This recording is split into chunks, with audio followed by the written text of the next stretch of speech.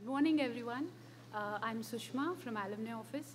It's my pleasure to extend a warm welcome to all of you on behalf of Alumni Office. And those of you who logged in online, welcome to all of you as well. And I think those of you who are attending this first time, let me give a brief introduction about our session. I think this session is called a Saturday Musings, and we started the session in, uh, uh in January. Uh, we had a, a, a, panel discussion and a talk on topics like uh, demonetization, innovation in the FMCG sector, and disruption in the services sector, and on the self-development like nurturing excellence at work. And, uh, and these sessions are all archived and uh, they are available on YouTube. Even those of you who want to access our uh, previous sessions, you can just go to our YouTube and uh, there is a channel called IIMB Alumni Office and you can see all our previous uh, sessions which have been, and this is our sixth session. And um, apart from the Saturday musings, we also organize or host a webinar every month. I think from May we started our webinar. And uh, these webinars, like eh, for every month, we are uh, we are having around four or three webinars, and even these are archived and they're available in our website called iimbaa.org. And any of you who are uh, interested or expert in any of the subject would like to take a webinar, please welcome, and you can uh, get in touch with us or write a mail. Uh, our mail ID is uh, alumni at iimb.ac.in and as of now, our webinar invitations have been sent to all alumni, and it's open to all. If any of you are not getting the invitations, please write a mail to us.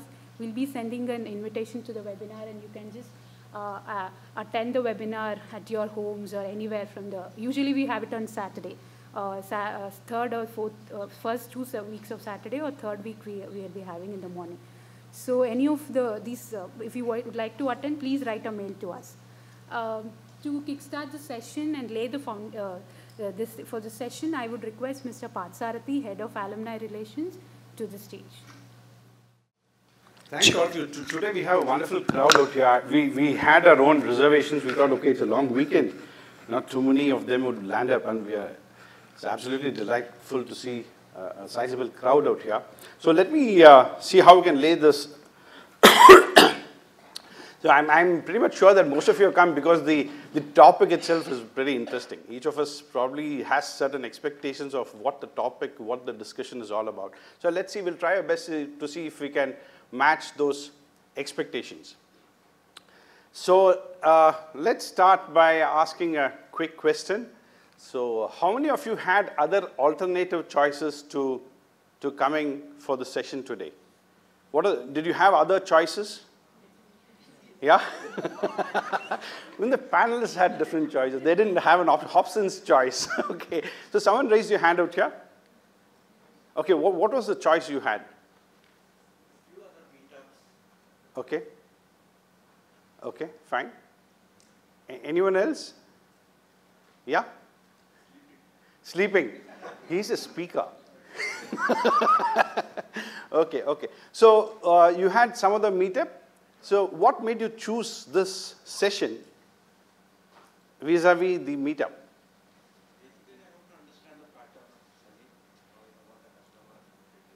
Okay. So you were looking for insights or expanding your knowledge about something? Would that be a... Okay. And what happens in the meetup? Meetup, what is it that you had to give up to come here? What does a meetup do for you?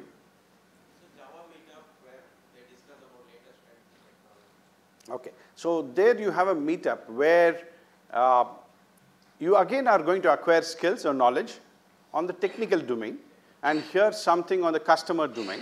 And as of now, today, you chose to come here because the customer-based knowledge or skills that you think you're going to acquire, you have placed it a premium. You, you, you're giving it more value than probably uh, the, the other one, right? That, that's one way of looking at it. Okay. So how confident you are that it's actually going to meet that expectation of yours? You're not confident? No, today's, today's session. No, not confident at all? no, no, not that. Mm. Uh, what I see, you know, yeah, I understand business to some extent. Yeah. I understand customer to some extent. Okay. I really want to see, can I learn something different? So, but how confident you are that this session is going to meet that expectation of yours? Say 80%, 90%, laga lo, chalta hai. Huh? 50%, okay, so thank you so much. Yeah. I know the complexity of this subject. Sure, sure. No, not a problem.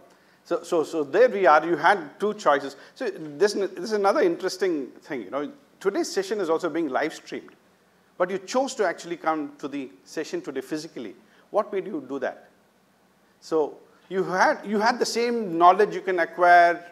Why do you have to come here? You can sit, sit at home and watch this from the comfort of your home.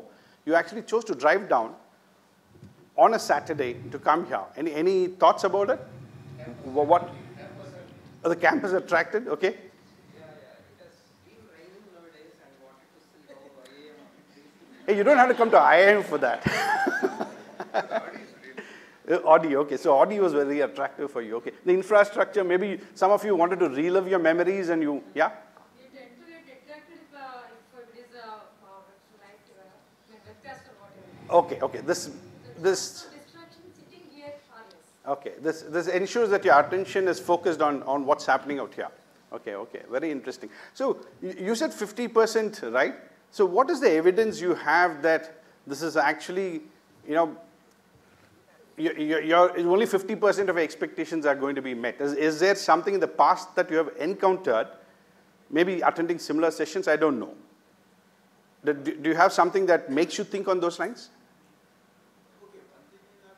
No, uh, pl- pl- please understand this is not the content. I'm not bothered about the content. I'm just trying to, yeah, yeah, yeah. I mean, I've been practicing a lot, which has been taught. Okay, So, and I know where, what exactly happened. okay. So uh, what do you That think? Experience, I have little less experience, I mean, ex, I uh, expectations, so that at least maybe I will learn something new.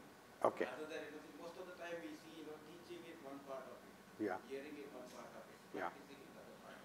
okay. And because I've practiced it so many times in so many ways, maybe yes, I, I would say that, you know, that's where Maybe from your past experience, a lot of. you are reasonably certain that probably only 50%, you, you, you have the confidence only 50% of these sessions might probably meet your expectations. And that's based on your past experience. Would that be a reasonable assumption?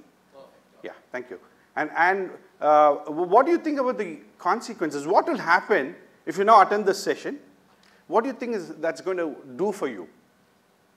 What will it do for you? You attend the session, you say, hey, this is a nice session, I got some insights. So what's going to happen after that? Yeah? So you, any, any specific implications of,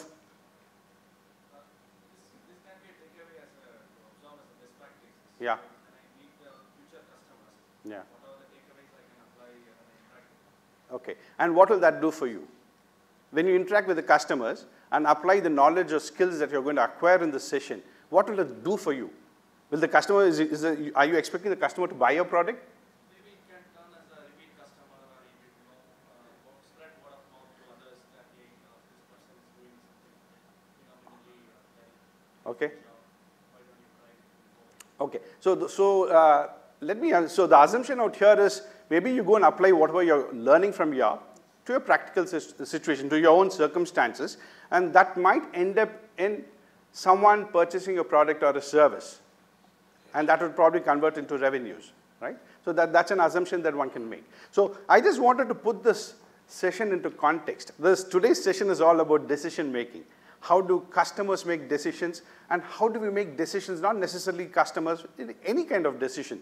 And what are the kind of factors that could influence your decision making process? So you could have, even the small conversations, people had choices. They had choices. And they valued something as of now. Tomorrow it could be different. So as of now, you valued A vis-a-vis B. So you're given it more preference there. Even there you had a, you, you had an option, you can drill it down of attending live stream session or being in the classroom. So there also you have a weightage that you give for certain things. So you value something more than you value something else. That's number one. Number two is what is the meaning that you attach to acquiring skills and knowledge? So one of the meanings is can I attend a session in IIM Bangalore? Okay. So there are many multiple ways of acquiring knowledge and skills. This is one of the ways to do it. So you've already attached meaning to the word or to the phrase acquiring knowledge or skills. This is just one of the ways. You could do it in multiple other ways. And, just, just a few observations. And number three would be how confident you are. What are your expectations out of this particular meeting or event? Are you 80% sure that this is going to meet expectations? So that those kind of confidence and expectations is going to drive your motivation to actually come to the session. If, if you're not very confident that it's going to meet expectations, you will give it a pass, right? So a lot of people would have given it a pass. So expectations also matter. What is the evidence that support your expectations? So his, his past experience, he's probably attended a few other sessions and he says, hey, kuch hua nahi yahan, right? I just go attend a lecture. So evidence. What is the evidence that supports your you know, decision making, your expectations? And then consequences. What will it do for you? You're expecting a customer to buy your product. You're, you're expecting the customer to change his purchase habits. So what are the consequences of your decisions? So these are just some of the very broad ideas around decision making. So it's, it's a fairly complex process. So today's session is all about decision making. And these concepts and frameworks can be used in any context. It's not just about consumers. And today's session is split into two parts. So one is the, uh, we invite faculty to take a session for 30 minutes. It's called biases in decision making. Now this, to put this topic in context, many of you of, would have heard about cognitive biases. And this actually has come from, uh, you know, uh, it, it's uh, attributed to um, Kahneman, Kahneman, yeah, Kahneman and yeah, and uh, Tever, what, what's his name? Yeah, Kahneman. Kahneman, who was a Nobel Prize winner, and he is the one who's actually started this whole, uh, you know, subject called behavioral economics. He won a Nobel Prize in economics, but he's from, he's a psychologist. So uh, Tversky, Tversky, Kahneman and Tversky. Yeah, so these are two, two uh, people in 1979. So they had a uh, paper published called prospect theory, for which he actually won Nobel Prize. Biases is a very huge topic. It's a very interesting topic, and I'd like to invite uh, Prithwiraj. I'll give a quick intro to uh, Prithwiraj Mukherjee, who's the faculty who would be taking this session. He's a young marketing faculty. He's assistant professor, and he's also the young faculty research chair. He completed his PhD from ESSEC Business School, France, he has a ME in chemical engineering from IISc Bangalore and a B chemical engineering from NIT Surathkal. Please join me in welcoming Prithvi. Thank you for coming here on a uh, long weekend. Uh, and thanks, Partha, for raising the bar. I don't know if I can actually uh, live up to your expectations. I hope I can. Uh, so what are some, some of the previous topics here have been on demonetization, disruption in services industry, et cetera, et cetera, right? Pretty heavy stuff. What we are going to do today is slightly different. Uh, I'm going to start off with a very small activity, two activities actually, after which I will explain why these activities and the results of those activities are important. And after that, we'll actually talk about uh, biases in, in general. So I hope all of you have uh, cell phones with you, smartphones that connect to the internet, right? Okay, uh, here's what I'd like you to do. Go to this link that you see here. Is this visible?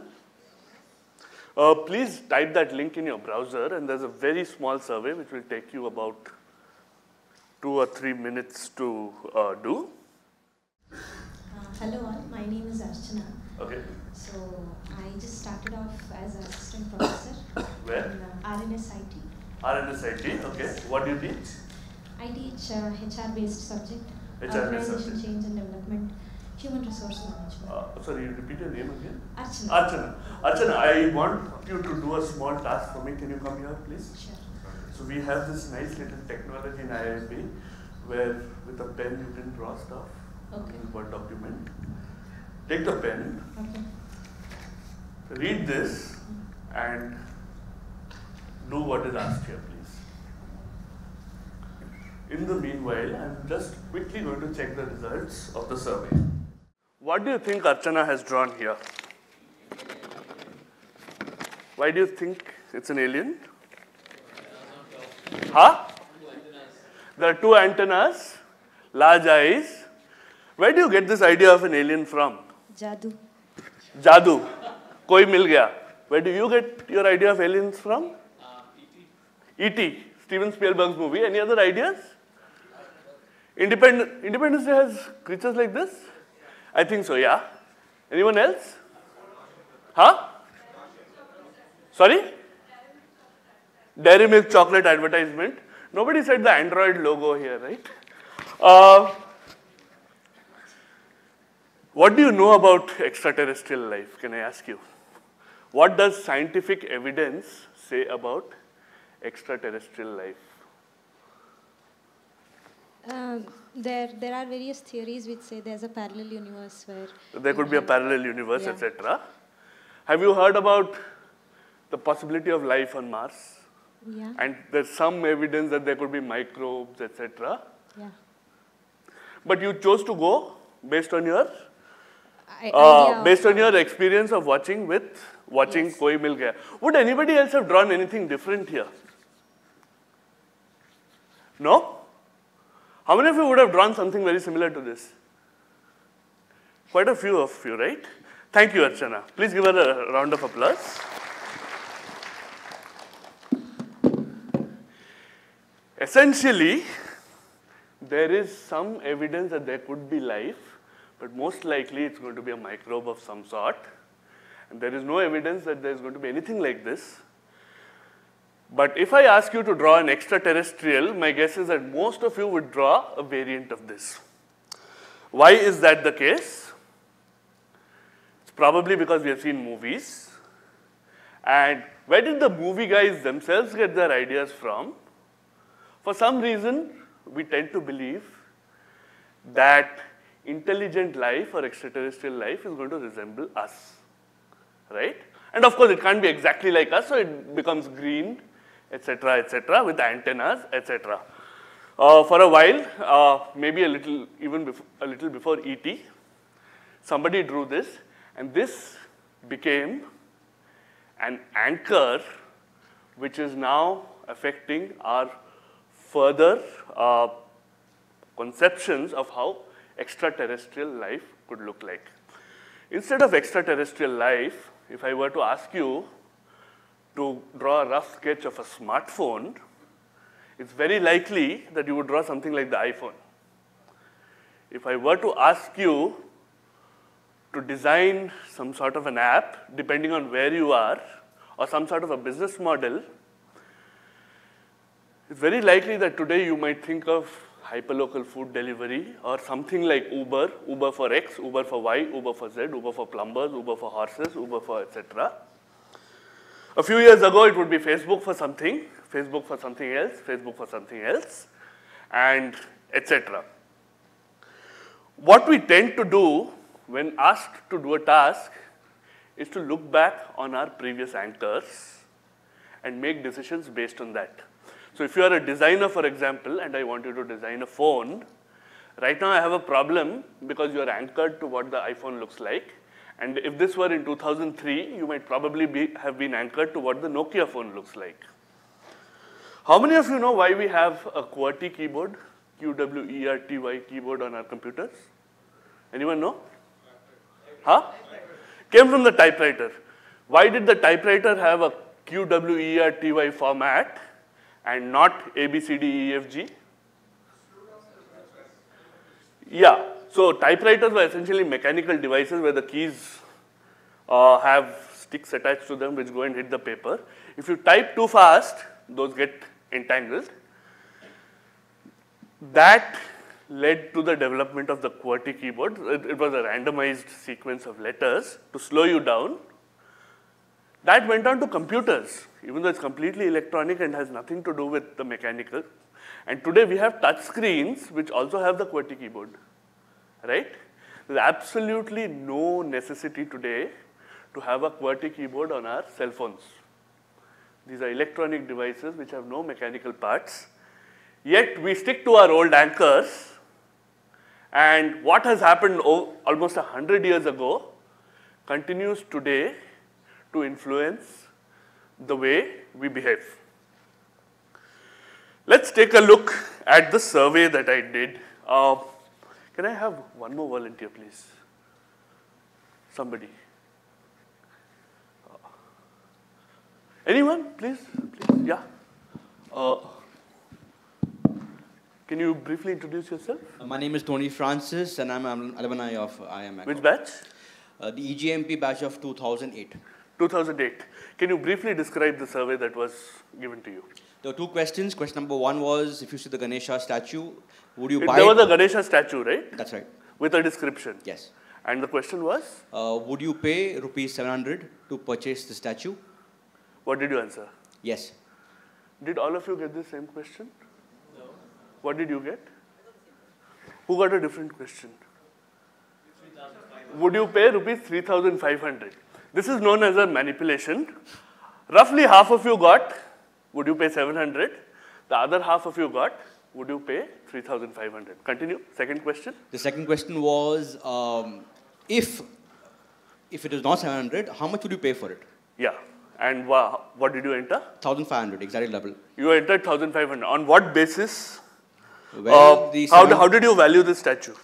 uh, from what you said, 700 Okay. became my anchor, and then uh, if Okay. I could value it and I push myself. Were you aware that double. you were being anchored? No, but Uh, so when you made your decision, what were you? What was going on in your head? Uh, what was going on was the, what I saw on the statue. It almost looked like a sandalwood uh, statue to me, and I would pay approximately that much. Uh, feeling. Have you uh, bought something like this before? Yes, that I did buy something recently. What, what was? What it was an Ashoka pillar in sandalwood. in sandalwood. Uh, how much had you paid for that? I think a little more than two thousand bucks. A little 3,000 more than two thousand bucks. Did that come into your Yes, it did. decision-making It did. process? It did. Okay. Thank you. Thank you. Okay. Give him a round of applause, please. Let's quickly take a look at the results that I have here. Okay. Uh, I'm going to populate an Excel sheet. So, the second question, when you see the word WTP, it means willingness to pay, which is an economic term for what is the maximum amount you would pay. So, yours was 1,500, no, 1,500, which means that if it were priced up to 1,500, he would buy it. If it was 1,501, you would not, right? If it were, it would be a good deal, but huh. So theoretically, this is what it means. There are, of course, uh, so what I'm going to do is report the means. So there were half of you were divided into an anchor of 700. The other half of you were divided into an anchor, were assigned the 3,500 rupee question. And the means you entered are? So 1,800 and enable editing, I'm so sorry. 1,876 for the 700 anchor. Any guesses what it is for the second one? Huh? It's 5,807. This is what it looks like. Two cases. I'll reduce the size of it slightly.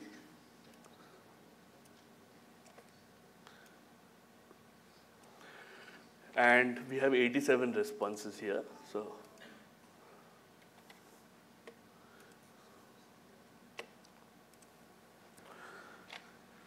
this is not my experiment. This was actually a landmark experiment in the anchoring bias, and I'll explain to you why.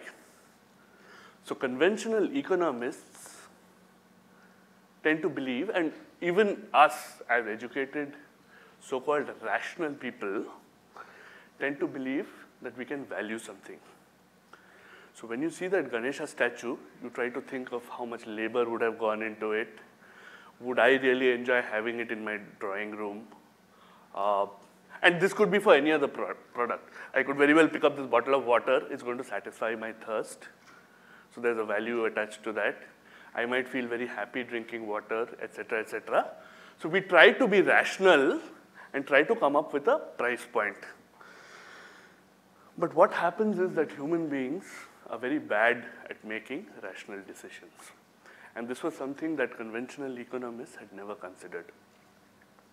What these guys did, Kahneman and Tversky, they actually demonstrated that this is false. Now, this hits at the very, very foundations of economics, that the agent is not rational. If you hark back to your uh, economics class and the entire things about Nash equilibrium, etc., etc., it's based on the assumption that an agent is rational. And the 700 and the 5000 and the 3500 are essentially random numbers that I gave to you. It has nothing to do with the valuation of the actual uh, Ganesha statue. What Kahneman and Tversky did was even more stark. They actually said, is, I, I, so for the sake of simplicity, because I have to generate the results instantly, I did this. What they did is write down the last two digits of your social security number in the US, which is completely random for all practical purposes, and gave questions which are very similar to this. This is not just in terms of pricing. I gave you a pricing example. What they did was, to US students, they asked, do you think Gandhi died before the age of 30? Or, and the other half they asked, do you think Gandhi lived to the age of 144? In both cases, Americans at that point are not very familiar with Gandhi. It's kind of like what Martin Luther King is to us. We are very familiar with Gandhi, they aren't. So it's an ambiguous decision to be made there. In both cases, you know the answer is no. Nobody lives to the age of 144. And they would have seen pictures of a very old Gandhi. And so they know for sure that he didn't die before the age of 30. The next question was, at what age do you think Gandhi died? And then again, the people primed at the 144 went high. The people primed at the 30 went low. Why is this important now? So in case you're wondering if you're the only people, if you somehow got misled and you feel bad, etc., I'm going to show you two more samples. I did the same thing in the PGP orientation. It was split into two rooms. I think one of the students is here. Uh,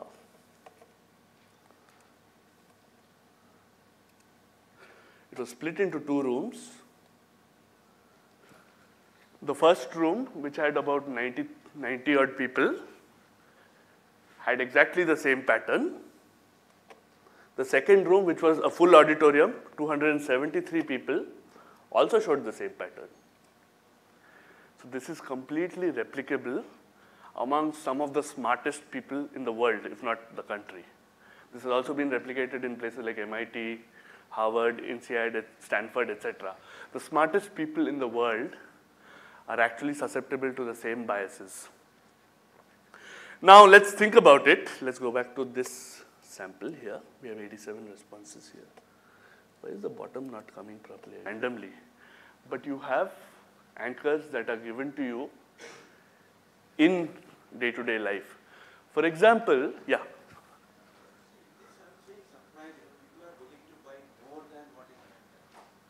Yeah, yeah, yeah, yeah, yeah, yeah. Which is a little, so I have to see the distribution. Maybe there are some outliers, etc. It is, it is a little surprising, correct. Usually, at the higher anchor level, it is actually slightly lower than the highest anchor. You're absolutely right. Maybe there are some people here who are very generous.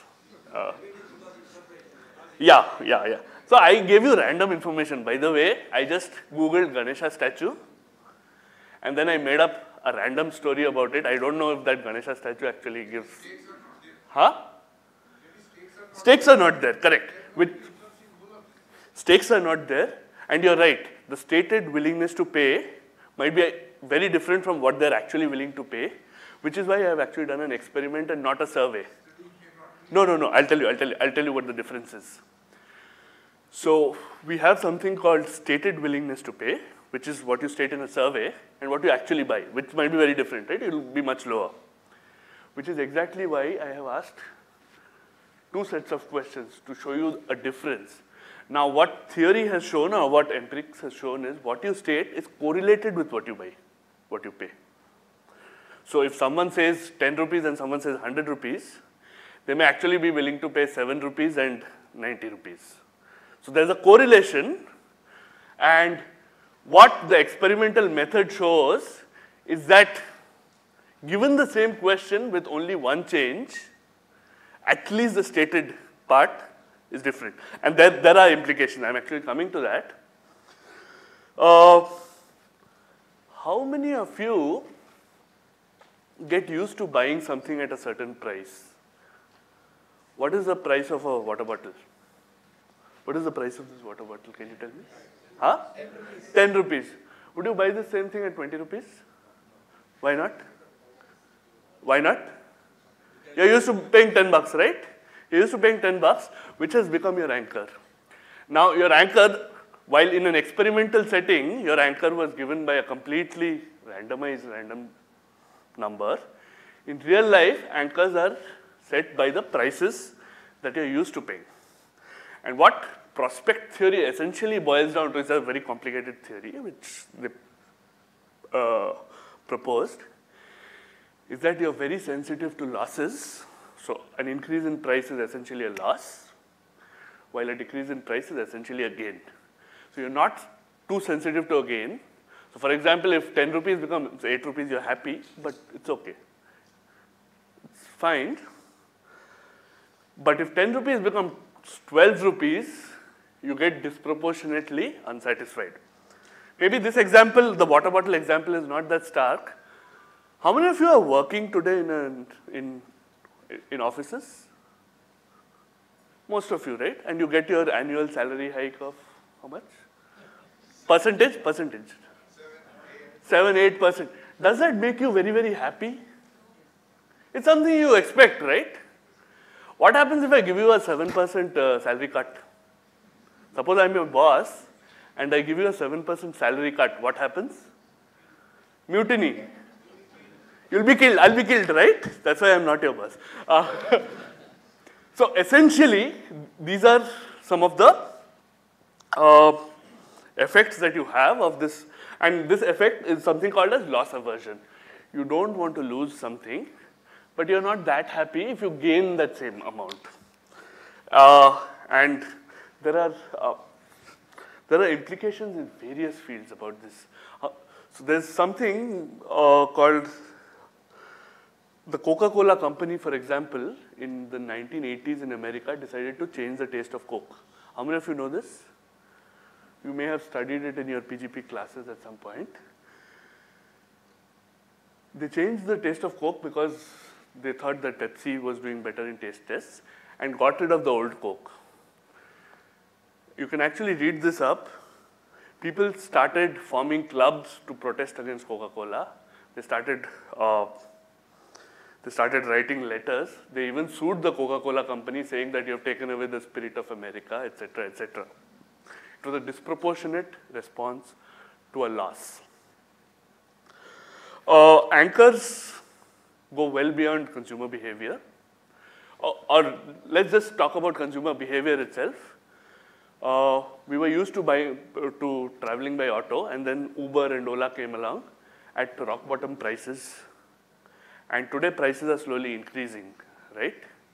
How do you feel about those increasing prices? Huh? It doesn't matter to you. Does it matter to anyone? It matters to some of you. Uh, before the government outlawed surge prices, and when Uber actually showed you that you're paying 1.2x, 1.8x, etc., how many times did it deter you from actually uh, booking an Uber? Never? Did it deter any of you? Quite a few, right? So you may belong to a, a, more elastic segment, but for quite a few people, it did matter. Yes. So there are, the, so what's happening is that there are other factors at play, which is why. but then the, yeah.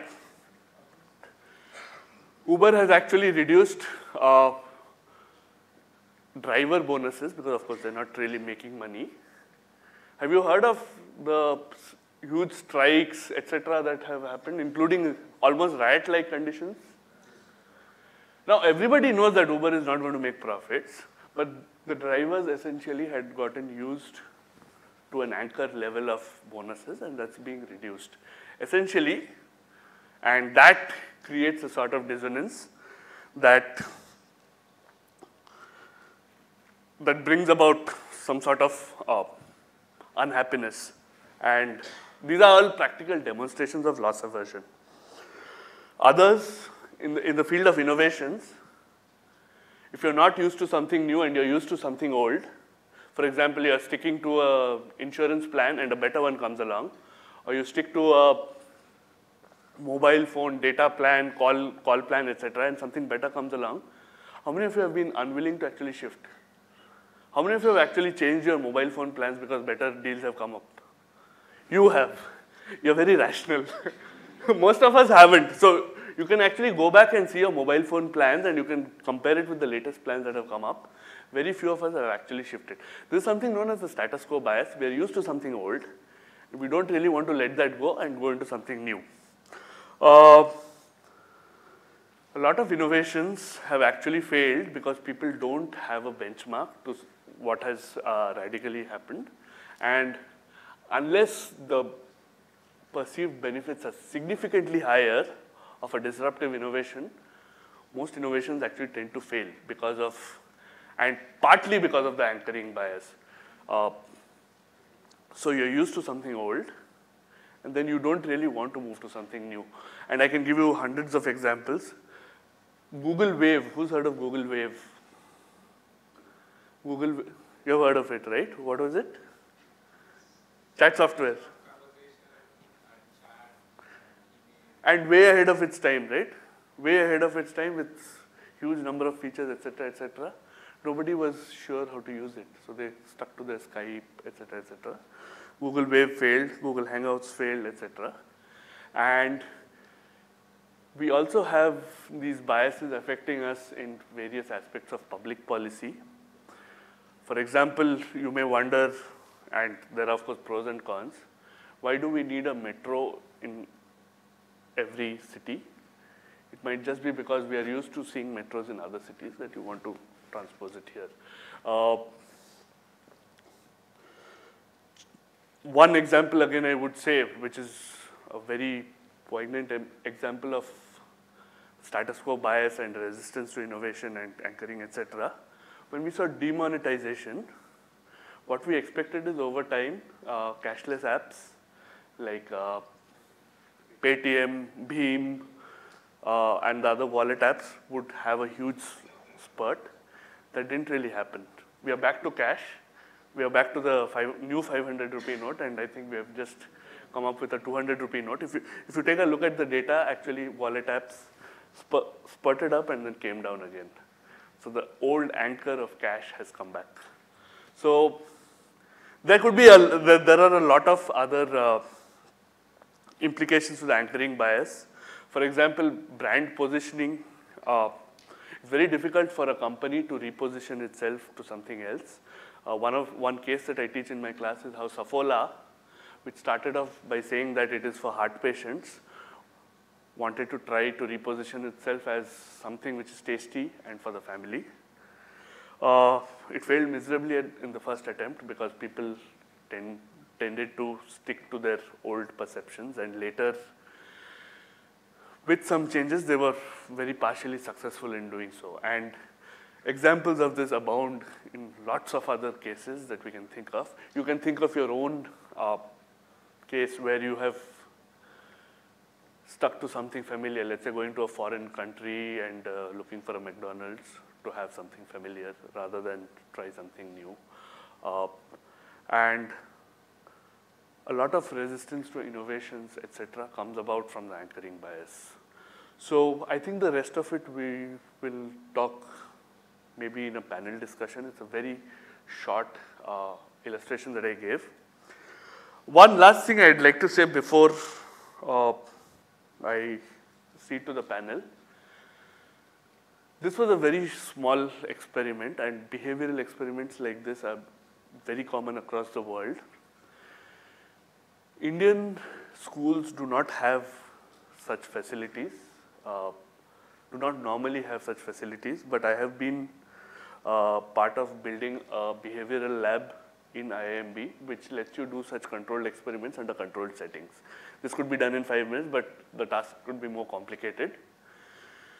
If you're not a current student of IIMB, I invite you to go to the behavioral lab. It's in the basement of the end uh, of the new teaching block and actually try your hand out at uh, such an experiment. Uh, from 2 o'clock onwards, one of my uh, research assistants is actually running a pre-test on something that we are doing in the space of online retail.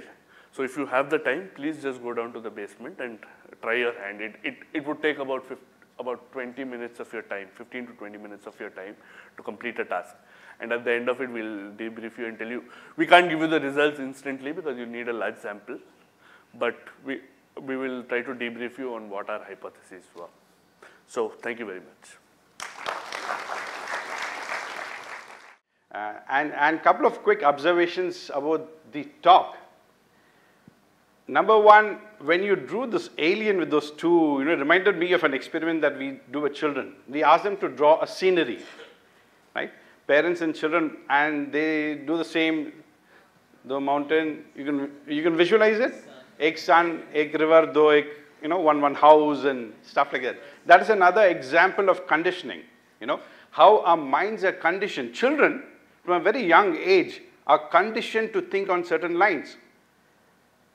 Uh, the, the teachers are also, you know, prone to that, and they do the same, all of us, adults, children. So this, this conditioning happens at a very young age. Uh, and and uh, that is an example of a, of a bias. And these are supposed to do with fixed mindsets and about belief systems. And that is a specific example is, to me, it, it reminds me of what we refer to as a visual anchor. Something that you see, maybe you've seen those Star Wars and Star Trek movies, those aliens with large eyes and stuff. So you start imagining that aliens are supposed to be that way. And those are visual anchors. So you can have various sets of anchors. You, you can have auditory anchors, you can have kinesthetic anchors. If you go to a, for instance, go to a gym, you want that fast music. कोई Hindustani music नहीं बजाता है. You know, Carnatic music because you don't associate. If you're in a, uh, uh, you know, you're uh, frustrated, irritated with something, and you want to stay calm, You'd probably listen to soothing music, morning ragas, evening ragas. Those, those are all auditory anchors. They are triggers that elicit a certain kind of a response from you. And the response could be a control in your emotional states, where it enables you to control your emotions, or it can change your behavior. Simple example, you're at a traffic signal, you have a road hump, or you have school zone, go slow. That's a visual anchor for you. As soon as you see that signboard, you know what you have to do. Automatically, you'll apply the brakes. That's again a, a visual anchor, auditory anchors, kinesthetic anchor. You, will find this uh, cricketers wearing their favorite t-shirts, a talisman, a ring, right? We had a movie around anchors, the cricket ka jo, uh, you know. So those are all anchors where you, you assume that wearing a t-shirt is going to probably improve your skill in some way or going to bring some luck to you. So that's, that's wonderful. That's, that's a nice way to illustrate the idea of an anchor.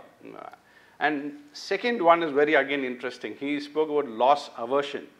This, this actually maps into what in psychology you talk about the avoidant and approach theories.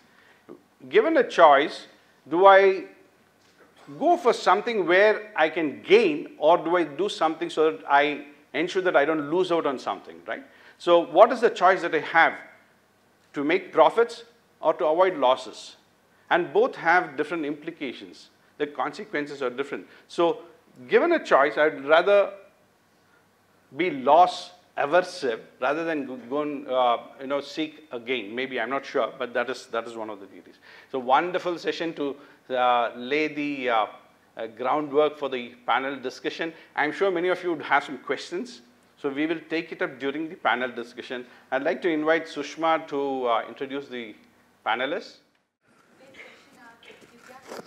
and she's an alumnus from 2002 batch, and uh, she has been working in advertising for the last 15 years. She started her career at Rohini Infras in account management and moved into account planning after playing the dual role for a few years. She joined J. Walter Thompson in 2010 and moved to the Bangalore branch in 2012, where she now leads the account planning team. And she has worked a number of uh, FMCG brands across categories. When she was at Lowe, she has in Pepsodent, Fair Lovely, Johnson's Baby, Knorr, Kisan, Amaze, and Rin, Lux and Sunsilk when she was at J- JWT. In Bangalore, she handled a number of fashion retail and alcohol beverage brands including Lifestyle, Max, Van Heusen, Louis Philippe, Above.com, Kingfisher, etc. And the company now she is working for is also developing a digital capabilities on Nestaway and also the Britannia biscuits portfolio. She was always interested in advertising uh, and she has done a brief internship with uh, Ogilvy and Mather, Newark, even before she came to IIMB uh, for her studies. Despite advice to the contrary, she went off campus interviews and to find her first job at Lowe. And actually, she says like communication is the only part of brand's marketing mix, but the strategic and consumer work we do has influence beyond advertising alone. Welcome, Divya.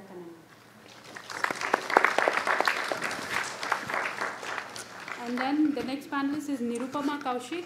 She is an alumnus of PGP 91 batch and she is a consulting partner and practice leader at Brandscapes Worldwide. An eclectic background including schooling in eight cities, a stint in academic counseling, and she's a master's degree in journalism and communication, training in facilitation and problem solving, and she has a total work experience of 24 years, primarily in market research, along with short stints in computer education and advertising. She's a specialist in qualitative research and has worked on creating proprietary protocols along with key clients. Her special areas of interest are behavioral change, consumer drivers, and NPD or innovation for blue sky ideas. And she's a trained facilitator who has conducted 60 workshops. Uh, Nirupama has experiences in leading and cascading strategic change within organization and auditing executive skills to set organizational norms and standards. She's on the accreditation panel for the Unilever's Qualitative Researcher Accreditation Program. She has earlier worked in TNS Global Research International, Market Probe, and ORG Marg. And her client experience includes uh, Unilever, Hindustan Unilever, Danone, TVS, Renault, Intel, LG, etc. And her domain expertise are in qualitative research, innovation, NPD, market research, brand strategy, shopper and retail. And her category expertise are consumer goods and services, auto, IT, rural research, regional and international research. Welcome, Nani. And our next panelist is Amod Choudhary, and he's an alumnus of PGP 2003. While studying at campus only, he, uh, his two areas of interest were consumer behaviors and data mining. And thereafter, over the next 14 years, he has worked across multiple industries in various consumer-facing roles across the functions of sales and marketing. He started off his career in sales with Asian Paints and thereafter worked for Marico and Johnson & Johnson. Subsequently, in Johnson & Johnson, he started off his marketing stint as a senior brand manager for Stayfree Secure and earned a Marketing Excellence Award for the relaunch of the brand. And then he has worked in apparel retail industry as a head marketing for the menswear brand Arrow and Peter England. In fact, he jointly worked on developing a market case study with our professor S. Ramesh Kumar of IIMB on a brand Arrow. He have a reasonable understanding of the online fashion as well with his brief stint with Myntra.com. Currently, he is leveraging all consumer or customer understanding to manage a retail cha- channel of brand Allen Solly for Madura and fashion and lifestyle as a profit center head. So may I welcome Mr. Amod. And our next panelist is Kalpana Rangamani. She's an alumna of PGP 96 batch and her professional experience is 20 years long, largely in the area of marketing. And she started her career in sales and marketing in Unilever, and then she moved through marketing consulting and brand management roles. And she has been with Titan now for 10 years, starting off again in the marketing function as marketing head for Sonata watches. Then she decided to shift functions and move to head retail training for all the company's businesses and retail formats. She has recently moved into a business head role for the new and upcoming business of fragrances. Uh, and she says like she has a, um, she enjoy opportunities that allow her to uh, build new brands and businesses or processes. So may I welcome Ms. Kalpana to the stage. And the moderator for the today's session is, as you all know, the Mr. Parthasarathy. He's the head of alumni of uh, alumni relations, and he himself is an alumnus of PGP 94, and has been he has on his own, and he's an entrepreneur for the last 20 years, and he has ideated many products. And uh, may I welcome Partha sir to the stage. Your experience, it's a free flow. You can share whatever comes to your mind. How do they make decisions in your respective verticals or? It really, it's very, very diverse because different consumers behave differently and even the same consumer actually behaves very differently across categories. So a lot of times our first choice is how do we choose who's the right target audience for our, for our product as well as how do they behave with that product and that category. So, um, you know, for example, we have uh, on FMCG, we have a lot of products which are actually low involvement products. They're products that I don't want to think too much about, you know, so they are often chosen by habit. Uh, one of the first brands I worked on was uh, Pepsodent, and toothpaste is one of the uh, choices that people just make out of habit because you've grown up using a Colgate, you're used to the taste, you're used to the flavor. It's barely two minutes in the morning, and then your day is over. It, it doesn't really play a role. And one of the things that Pepsodent had done very well in the past was to increase involvement in the category. So from a low involvement product, it, it tried to become a high involvement product. Instead of talking about teeth and cavities, which people didn't think about all the time, they started talking about sweet food which you know anybody who's a foodie will will think about a lot. So I, I think you know it, it's first is the choice of consumer and then how do they behave with that category and how can we increase involvement. So a lot of our time is not how does the consumer make a decision and how do we fit into that. It's about how can we influence the decision to work in our favor. Completely agree with what she's saying. I think the first important shift that we've seen and in research we reflect the shifts that our marketers and our consumers are taking. I think the first important thing is when we talk about decision making, you should study behavior rather than attitude. And I think classically we are all brought up to study attitude. So if in this room I asked people, you know, how many of you intend to have a BMW? We all do. But if I came back and did the survey a year later and said, how many of you have a BMW? There is no correspondence between the two things, right? So I think what we're trying to do is to go to people who exhibit the behavior. So something like, think of it like the uh, virus like HIV, there are lots of people who have the virus, but many people don't have full blown AIDS. There's the same difference between attitude and behavior. That a lot of people exhibit the propensity to do something, but whether they actually do something or not depends on whether you get what we call behaviorally, Professor talked about it, a nudge. And all marketers today are trying to move a nudge in a positive direction. So, in a way, Decision making today is about the kind of stimulus that you get uh, to nudge your behavior. If you look at success of, let's say, something like polio immunization, it got a huge nudge. And you can use a communication persona like Amitabh Bachchan to make that happen, or you can use some other nudge. Today, what we're trying to do with Swachh Bharat or any other movement that you can think about is about nudging people in the in the so that is part of behavioral sciences, but I think marketers are using it to incentivize people. Yeah. The other thing is to talk about decision making, and again, Prithvi talked about it. Um, I work on a behavior change protocol, and a lot of it is for FMCG work, which Divya rightly said people don't think a lot about this. Well, how do people make decisions? Very often they make them in an instant. And secondly, they think they know why they made it, they actually don't know. They only know at a conscious level. So, what we've learned over a period of time is if you interrogate change, you'll get an answer, but it's not the reason why it really happened. Because these things happen very much at a subconscious level. Yeah? So I think as we go along, you'll see many examples. I'm sure Kalpana and Amod will talk about categories which are linked a lot to desire, a lot to want. And why those get stoked has a lot to do with subconscious ways of thinking. What we've learned about understanding behavior changes, you understand it and you get people to narrate it and you understand it in that context, you don't interrogate it. The moment I ask you the reason why you did something, you'll give me a rational reason, which may be part of the reason. More often than not, that's the justification.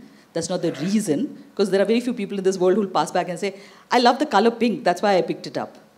But if you actually do neuroscience on it, it's because of the triggers and the transmitters in your brain at that point in time. That's what it's all about. So it's about nudging, it's about intervening, but perhaps responsibly. So, you know, one of the things about decision making is when we are making decisions, what I've observed across, let's say, FMCG when I was working there, or apparel retail now, that we almost always depict very different and diverse personalities when we are making a decision, right? When we are making a decision about buying a kg of potatoes, we are a very different sort of a person. When we actually enter a Mercedes show, showroom to decide on, upon the model, or whoever has had that kind of a opportunity in life, we completely exhibited very, very different personality. So, you know, one of the things that I bring to the table is the way we make decision actually depends on the context we are in, the context in which we have been asked to make a decision or we have been called upon to make a decision, and the kind of category we are making a decision upon, uh, about. You know, we could, another shift that I've over a period of time seen is also that, you know, the irrationality of the decision making or a very consciously admitted irrational or emotive decision making is increasing. You know, as the complexity of our lives, our urban lives become more stressful, we are almost al always told by the manufacturers that it's okay, be real, you're an emotional, irrational being, even if you like the color pink, like Nirupama said, admit it and make a decision and go for an emotional satisfaction, even though functionally it might just not make a sense, make, uh, make any rational sense, right? So one of the shifts are away from you know a certain amount of rational decision making that our society used to condition us to, being value conscious middle class citizens of India, is a shift away from that where you see very high involvement categories like let's say Skoda Octavia, you know, advertising on emotional satisfaction or that warmth of togetherness, so on and so forth, Innova, some very high involvement categories are kind of saying that, look, it's about emotional satisfaction at the end of the day. So there's one shift is from more rational, at least we used to, we had the pressure to pretend to be because of the conditioning of the society we have, move away from very objective decision making to an emotional decision making. Second, the context and the kind of purchase that we are trying to make uh, sets the tone for what kind of a personality do we exhibit there of how we are making a decision. Uh, but one of the things I'd like to disagree with uh, Nirupama when she talked about attitude versus behavior. Uh, I come from an industry, I work in the perfumes business of Titan. A lot of Titan's products are in the lifestyle space. And perfume, more than anything else, like Amod said, is hugely emotional. Uh, it is, you know, someone said perfume is desire in a bottle, it's hope in a bottle. How do you drive someone to think rationally about how does perfume in a bottle give you hope or give you desirability? And um, one of the things that I think most brands or businesses in the lifestyle space do is to really work on the attitude. And what is it that you can do to really build that kind of desirability into the bottle? And so, while what brands do is work on the attitude, uh, what will end up measuring is behavior but really a lot of work in saying what is the kind of nudge. And I love the example that Nirupama gave of Amitabh Bachchan and polio. At a rational level, is there any reason why I should listen to a Bollywood actor about the health of my child or the health of the nation? There is no rational connect.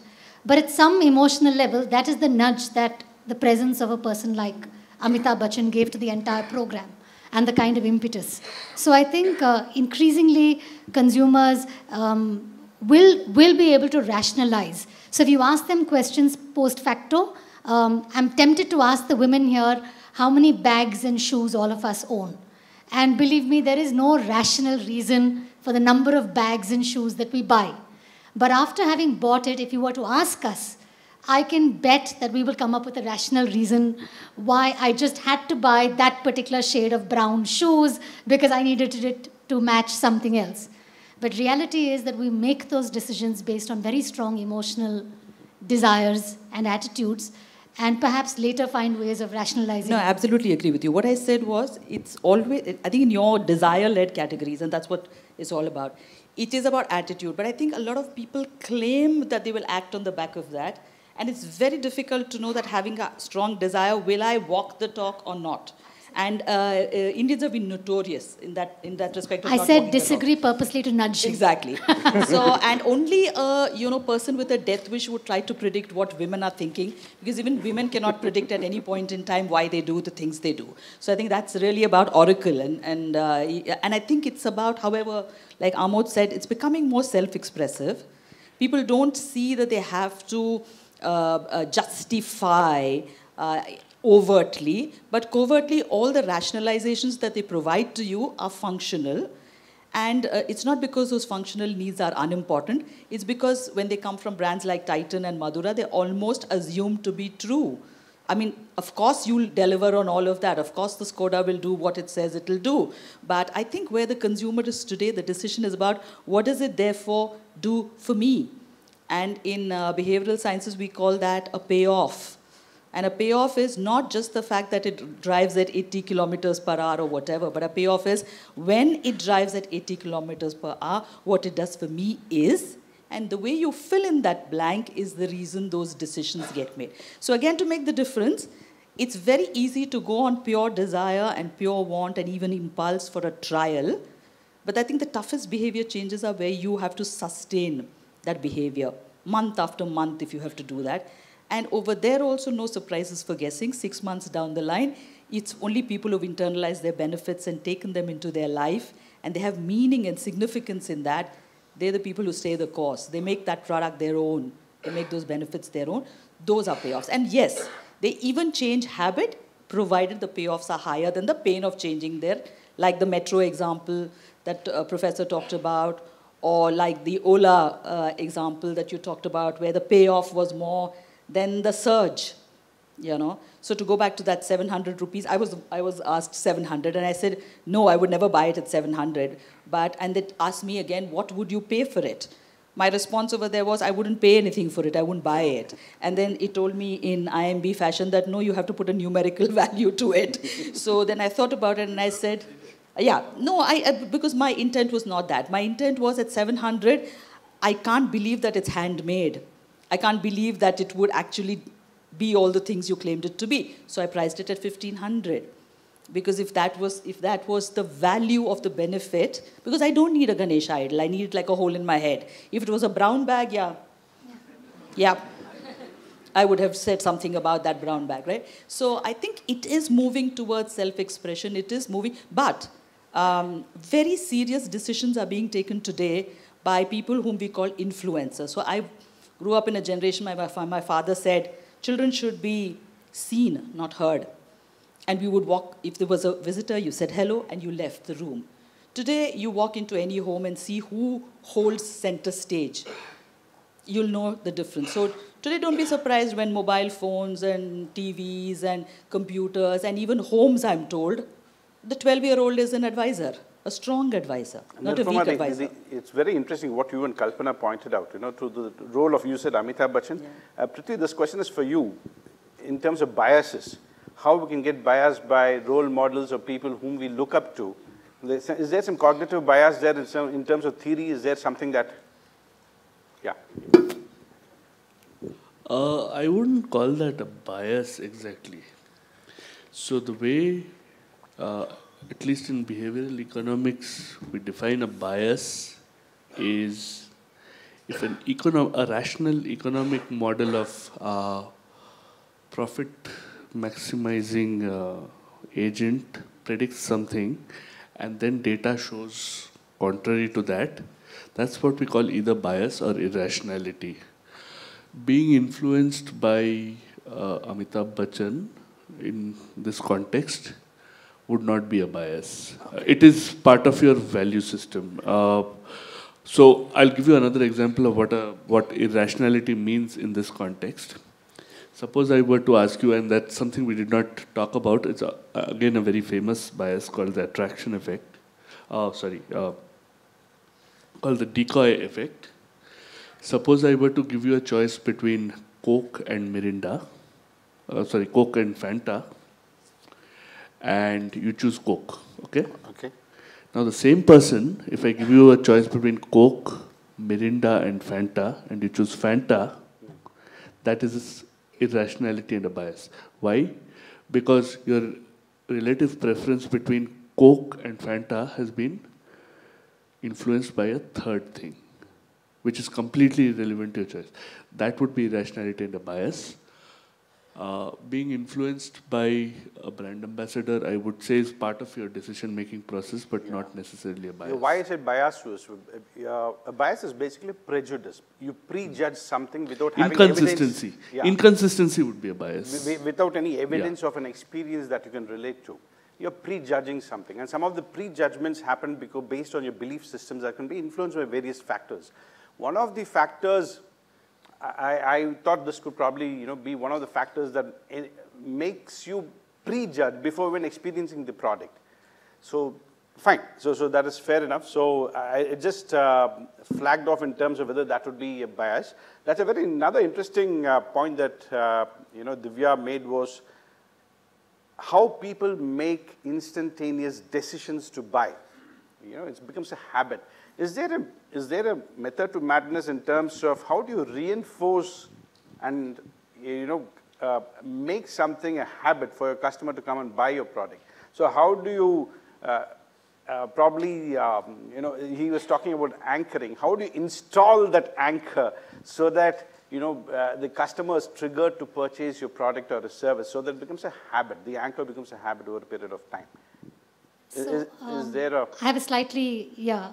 So two of the big um, trends that we're seeing, and the reason I say they're trends is maybe it's not caught on fully, but it's clearly something that we're seeing, is that there is a lot of fragmentation when it comes to how consumers are actually making their decisions. So maybe 10 years ago or 20 years ago, there was a certain degree of predictability on what the timeline was.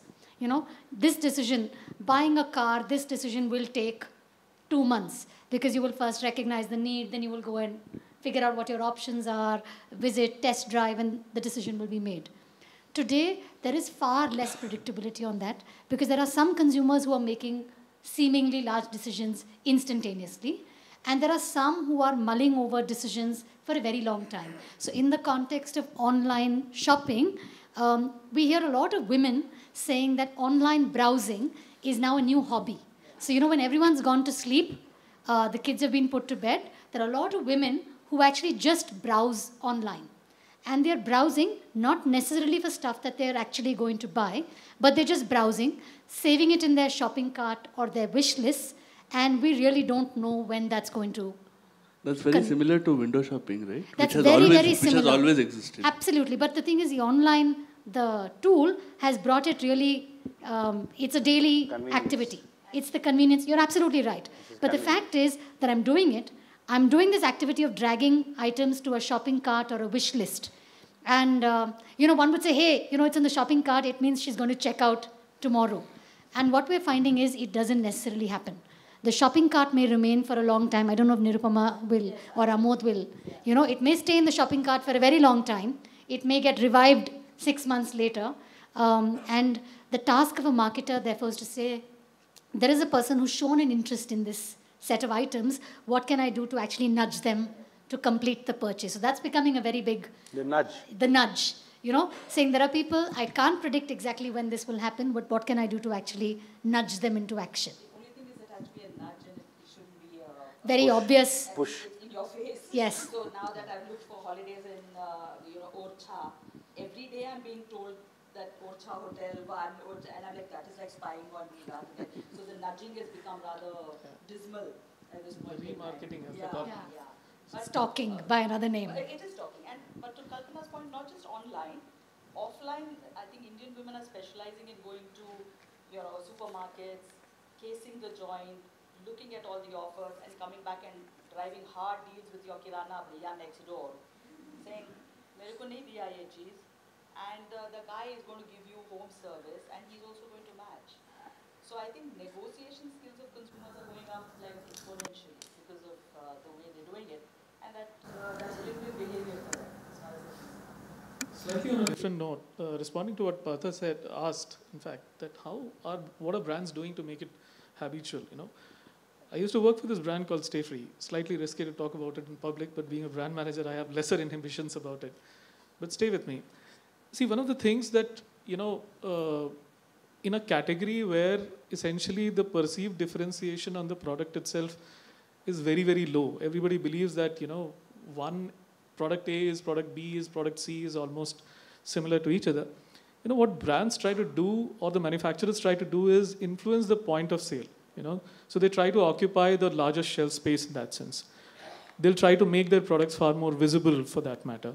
You know, they'll try to make their product far more easily uh, gettable from the shelves. So, for example, in, when, I, when I was working for Stayfree, one of the things that we never changed about the product, and you'll still see that, there's a blue pack about it, right? The blue color never goes away because we knew that the consumer behavior was that women would come there and slightly in an inhibited fashion would say, wo blue wala pack dena, right? So, you know, manufacturers, for example, for the longest period of time, the base variant was at 20 rupees, and we would almost take it as, you know, sacrosanct that we won't, don't want to make it even 20 rupees, 25 paise for that matter. Because we knew that consumers at the point of sale behave in a certain manner, saying that 20 rupees wala blue wala pack dena, right? And this is how some of these cues, manufacturers play upon some of these cues to actually make sure that your brand or your product gets picked far more easily and far more habitually, right? Milk packets, nobody ever actually gave them a color of white beyond a certain, you know, color. Now, some of these things manufacturers do, but you know, online, like Nirupama and uh, Kalpana is saying, is making, breaking some of those habits for that matter. Consumer nowadays go to the point of sale, and the same women we used to study almost 10 years back for this behavior now are far more, far more open, far more expressive, and far more demanding, are almost comparing prices at the point of sale, which was very unimaginable at that point in time.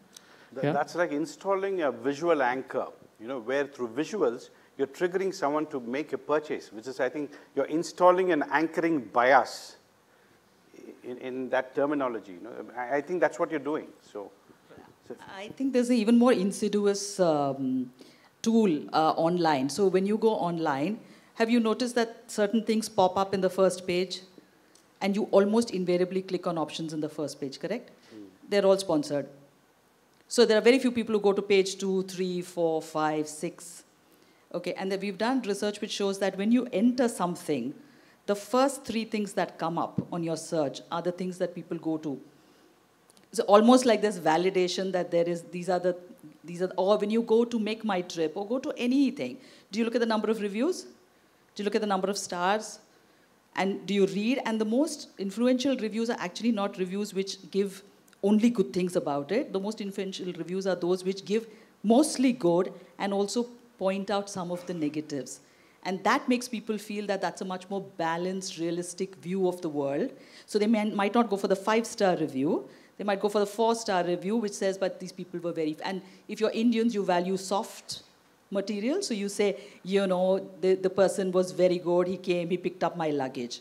In some other culture, they might say, the computers, the, the Wi-Fi was awesome. So it just depends culturally on what you're looking at, but you are being nudged all the time in the direction of making a decision, sometimes insidiously, sometimes otherwise, I'd say. Uh, I think as a follow-up point to what Amod was saying earlier, uh, you know, consumers are moving very fast. They they evolve much faster than marketers can keep up. There was a time when marketers, you know, could we had we had the luxury of time and uh, we had a lot of knowledge and consumers were not so used to market forces, right? Uh, anybody who's uh, old enough to have remembered, you know, pre-liberalization uh, years, you used to go to a kirana store, you weren't allowed to touch anything in any category. Maybe you had two, maybe three choices. You had to call for the product by name and agree to buy it before the shopkeeper handed it over to you. Today, when a consumer goes into a store, they literally are the king, but sometimes the array of choices can be overwhelming. So as a consumer, if I have to think through and rationally decide on each and every decision that I make, it's going to take up too much of my brain power, too much of my energy, too much of investment of time. So how do I make those decisions easy for the consumer? And that's what marketers can do today is help them make those easy choices. Like uh, Nirupama was talking about the realistic reviews.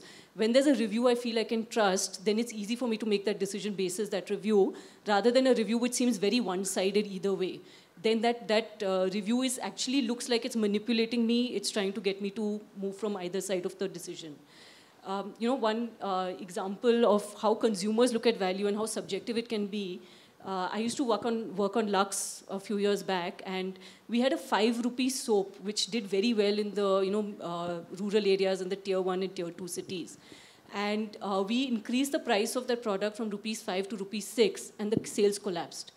And it was a huge uh, uh, learning for us because the same person who refused to buy the soap for one rupee more was a person who spent 200 rupees on a prepaid mobile charge every month. Yeah, so again, it's Loss again it's aversion. loss aversion and it's also value because you know that that mobile phone prepaid charge uh, was very important because often the, the wage earner of the family would be somebody who's doing daily wages, somebody who moved from job to job, traveled for work, and could, this, this was required to stay in touch with the family to know that you're safe, to be in touch. Versus a soap which I'm going to use and in one month it's going to get over and I'm going to have to buy another soap after, you know, whatever, 10, 15 days. Why should I spend that one rupee more? I'd rather put that one rupee in the mobile uh, phone. And that goes back to the example of the Olas and the Ubers, where even though there's surge pricing, I need to get to the airport, I need to be on time for my flight, and so I'm willing to pay that. What can I do about it? That eh, you know, I'd rather be on time than spend money. So I think it's very, very important for us as marketers to understand that decision making, like Amod said, has a context. So in that context, how does the consumer behave? What is the pain point? If I can solve that pain point for the consumer at that point and make it easy for them to make, choose my brand, then it's more likely that they will choose my brand. I think it's a very interesting point. Both you and Amod made uh, an observation about the role of context in decision making.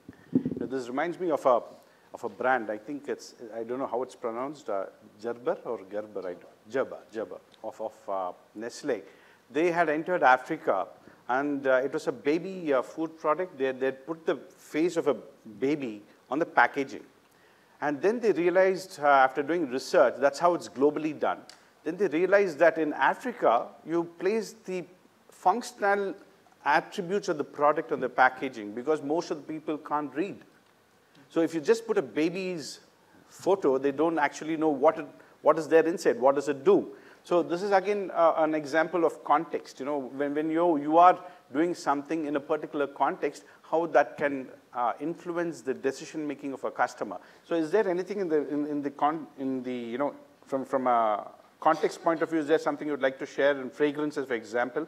Are there any contexts? Sometimes it's, it's you know, meaningful to target a context rather than a customer. Now, if I know that customers are drawn to a particular context, I'd rather target the context where my product or service is going to be consumed rather than target the customer themselves. So are there circumstances like that that you have, you have encountered? So? I'd like to share one of the challenges we face, and maybe the two of you and uh, Prithvi can help us resolve. So one of the challenges that a brand like Skinn, which is a perfume brand, faces is that our larger task is to upgrade consumers from using body sprays and deos into using perfumes. Now the catch here is the product that is being currently used by most consumers is at 200 or 300 rupees price point, and our perfume is at 1100 1500 rupee price point. So one of the biggest challenges that we have is that the task is very clear. I want my consumer to stop using deos or body sprays for fragrancing and shift to using perfumes which is the right product but the minute i place it in the context of a deo the consumer is saying you're going to ask me to pay five times more or three times more and that is far too expensive and therefore, what we end up doing is in points of sale, we place ourselves with the foreign perfumes, where the context from a price point of view is very, very beneficial because you walk into the perfume section and you see all international brands at 4,000 rupees, 5,000 rupees, and you say, wow, here's a great product at 1,200, 1,500 rupees, that's great value. But the challenge we face is that is not the consumer in the market we're after. The consumer in the market we're after is the person who's buying the 300 or 400 rupee, 200 rupee deal. So, how do I place myself to attract that consumer without making him make this comparison of price And the unfortunate part is that the perfume section in most department stores is a very scary place. Before I started working for perfumes, it was full of glass bottles, glass shelves, these very serious looking guys who pronounced all these international unpronounceable names, French names. So you walked there and the guy asked you, What do you want? I don't even know what to say because forget about Gerber. These are like very, yeah, Givenchy and whatever. So we really faced this challenge saying which is the context that as a brand we should pick. And I'll be honest with you, we're still struggling because we want that consumer who won't come there, but we want him to evaluate us versus that. Both serve different purpose.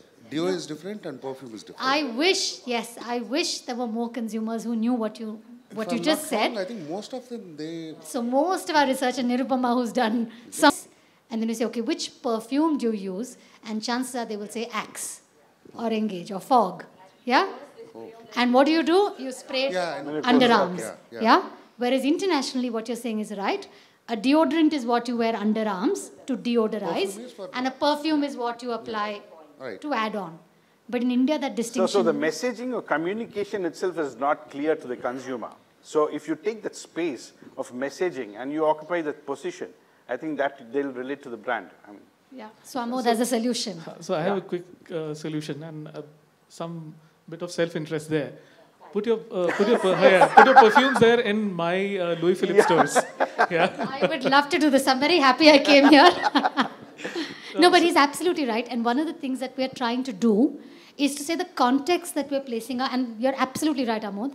The context that we're placing our product in is neither the deo or body spray category, nor is it the international perfumes category, but we are trying to create the context of other products that you use for grooming and self expression. So if you go to buy branded apparel because that's what you think is good grooming, then that's where my perfume should be. So one of the big channels for us is our own watch showrooms.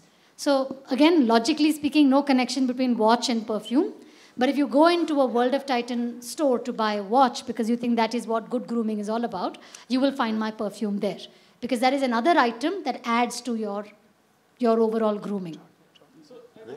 bring forth a certain example, as in when we look at our, uh, let's say, Allen Solly, Louis or Van Heusen stores, you know, uh, you know, one of the things that we very actively do, consumers may not really uh, find that out very, very consciously, is that, you know, we deliberately keep our stores mostly in the malls now, right? When you enter a mall, it actually changes your entire, you know, mood maybe, how it influences, you know, how you feel. You start feeling far more relaxed. You start feeling far happier. There's a there's an aroma of uh, some cookie store or cookie man store floating around. You know, those cues actually make make you far more open, far more relaxed, and you get a sense of plenty in a mall. You get a sense of happiness in a mall, and that a lot of lifestyle brands like ours, Louis Philippe, Van Heusen, Allen Solly, they use to put their stores in such a manner that when you enter a store, you're already in a slightly expansive mood, right? And then, you know, when you're looking at price points, it no more is about bargaining, getting something and getting out of that sweaty subzi market or that, you know, uh, very, very busy sort of a store where the kirana guy is not allowing you to touch something, right? Now, these are some of those things we further enhance in our stores within the mall. For example, you know, fragrance is one of the most important things that people say. You might not notice it, but some of the fragrance, fragrances actually put you at, you know, peace because that anchors a certain amount of familiar thing that you have at your home, let's say, right? Pine fragrance has become very, very popular in most of the stores by default because it almost always tells you that, look, the world, sweaty, traffic, you know, noisy world outside is a distant memory. This is a far more peaceful and serene uh, world here. Now, so retailers actually very actively leverage all of these cues to put your mind at ease and hence define a certain context where you feel the plenty and hence you're far more open to shopping at higher price points, larger basket sizes. You know, one of the one of the one of the uh, sayings I remember is somebody said that don't make a promise when you're feeling super happy in that sense. You know, we marketers actually, you might call it insidious maybe, but we marketers actually use some of these things to put you into a state of mind where you are expansive and where you are likely to pay more, open to pay more. Pay more. Retail uses this quite a lot. I want to add on to uh, what Amod is saying. I think we've come from a culture of problem solution. And we solve problems through products. And now the entire thing is, no, it's not about a problem you've got to solve as much as opportunities, potentialities, lifestyle. So expansiveness really helps. So if you get into a non-defensive framework, it's easy because that's about needs and wants and desires. It's not so much about, not to deny the fact that there are still lots of functional problems. So the same consumer will work very, very problem solution when you have a, uh, you know, pest, pest, pest control in your home. They, they, you're going to be very, very rational about the way you do things like that. Water filters. But even in a category like water filters, now you've started seeing the very sexy, sleek looking water filters. Because first you need to do filter water. But now you also want a good looking one that fits the rest of your decor. So it is to some extent sort of graded up, but he's absolutely right. If you put people into a non defensive space, uh, on premium products. And the other thing to add to what Kalpana was saying is if you're creating a new uh, sort of a category almost, I think the other thing which is the flip side of the, of the difficulty of slotting it is people are willing to learn a new ritual. So what we have found is the most successful examples have been where you've taught them a new ritual or a new special secret way of doing things only to them that that then kind of catches on and said oh so you don't know about this new way of, uh, you know, dressing up almost.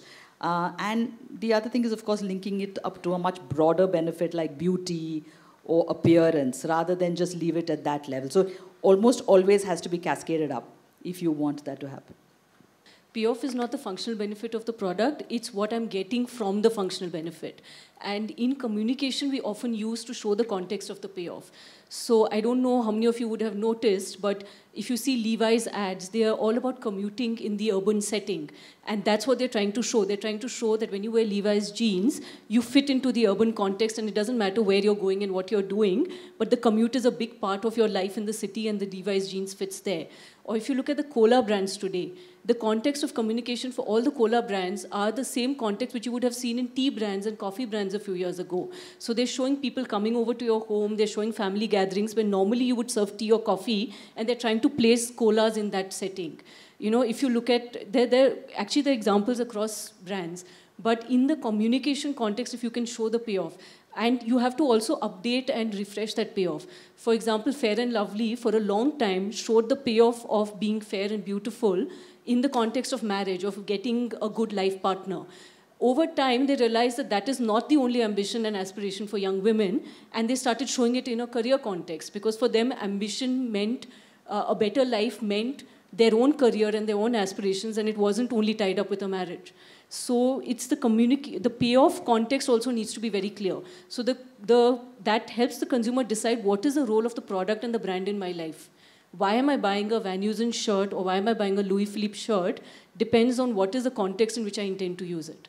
I think that's very interesting. Uh, this also reminds me, in terms of, you know, what you're saying is, when you're looking at customer benefits, the, the story in terms of what a customer relates to is the context in which he's going to be benefited. So you would typically talk about situations. So in, uh, uh even in advertising, I'm sure in, uh, you know, or, or the communication, what is it that I'd be able to relate to as a customer? Is the situation in which I'm going to use something and how am I going to derive the benefit? That's a much more easier way to communicate the, an idea. Now we'll, we'll open it up for question and answers. I'll take up the online questions first, right? We have a question for the uh, panel.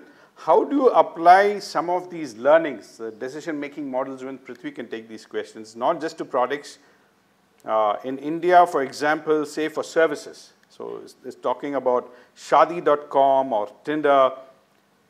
Do you think there are service brands out there which would benefit from your learnings, decision making, or does it apply to products, uh, services, or any thoughts on that? The question is, can we talk about services? So what would be the, you know, any, any differences in the way you look at decision-making processes for, for services and products? Yeah, so uh, just quick disclaimer, I did work on Shaadi.com for a little while, so I have a little bit of insight into this. Yeah. Yes, definitely it does work for services as well. Again, it is about looking at the context and the consumer that you're looking at. Uh, Shaadi.com, for example, um, it, it's looking at young people who want to get married. They, they, they firmly believe in the traditional way of life in sense of you should get married, you should have children. Uh, there is a certain uh, requirement that I have of a life partner. At the same time, I'm also modern and aspirational enough to, to know that other people can't make this decision for me and I need to make it myself. You know, so it, it's a Shaadi.com actually is a very nice uh, blend of modern and traditional. In fact, when you talk to young people today, um, if you ask them what kind of marriage do they aspire to, a lot of people will actually tell you a very funny thing. And it's a typical millennial response where they want to balance both opposite polar ends of everything. They'll say, I want a love come arranged marriage. And what is a love come arranged marriage, you know?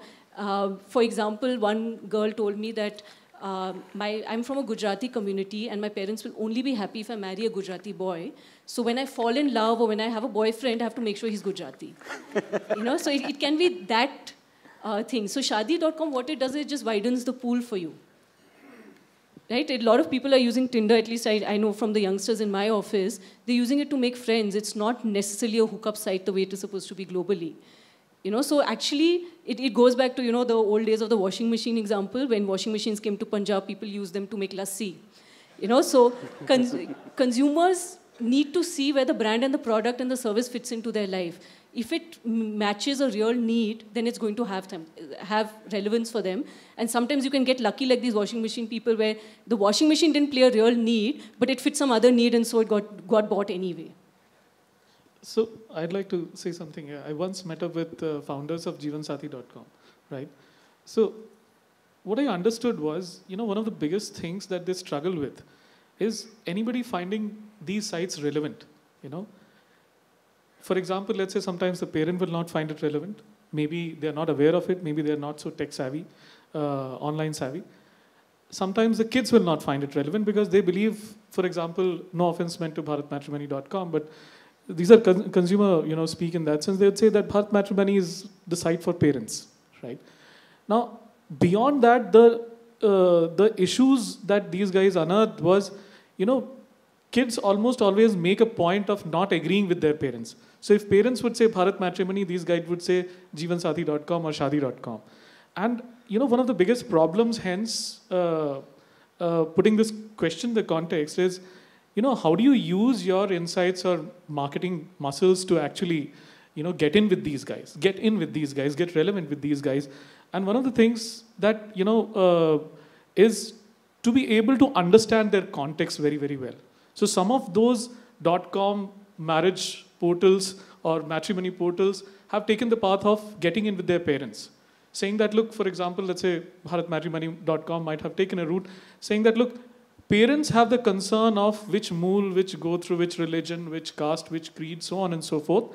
So let's make bharatmatrimony.com, let's make tamilmatrimony.com, let's make gujaratimatrimony.com.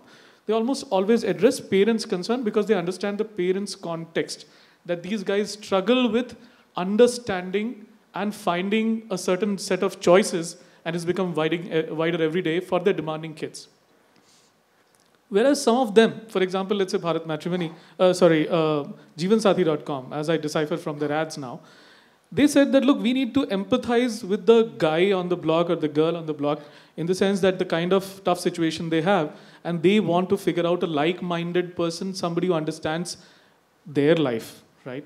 And then they said that let me build the entire understanding basis, the empathy with them, where a guy says that there are there's so many people out there and I'm looking for them.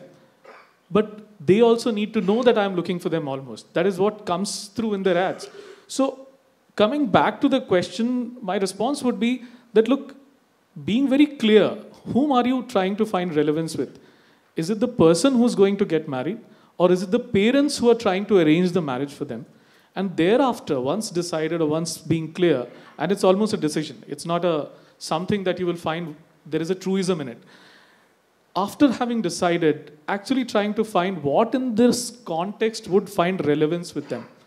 If it's the empathy, if it's the information about the parentage and profession and so on and so forth. So, the, so effectively what you're saying is the framework for decision making is almost the same, whether it's products or services, because as human beings, we are all still the same. Whatever you consume, is, it, it doesn't matter, right? So, so there are so many factors that are involved in decision making based on what you're selling. but the framework for decision making, the factors that influence you to make those decisions are perhaps pretty much the same. Would that be a reasonable assumption? Yeah. Are, are, are the, you wanted to? Yeah, I just wanted Yeah. to add to what Amod said. In, in services, I think the other important thing is that uh, they have a great advantage over anything else in overcoming the physical barrier. So what has happened today is because of all the e-commerce sites or even the matrimonial sites that he was talking about, it's your potentiality of, of uh, possibilities opens up a, a lot more. So suddenly it doesn't mean that because you live in Gurdaspur, you will marry someone in and around Gurdaspur. Just because I live in uh, Tirunelveli doesn't mean my life is only going to be about Tirunelveli. And therefore, I think the important insight that's come to us, which has been sort of exemplified by every service brand, is that the socio-economic classification, and you know, you're familiar with it in this room. There are others who've moved to slightly other classifications, but the SEC, ABC, I think the largest insight for us as researchers and marketers in the last seven years is the SEC description is actually the description of the chief wage earner.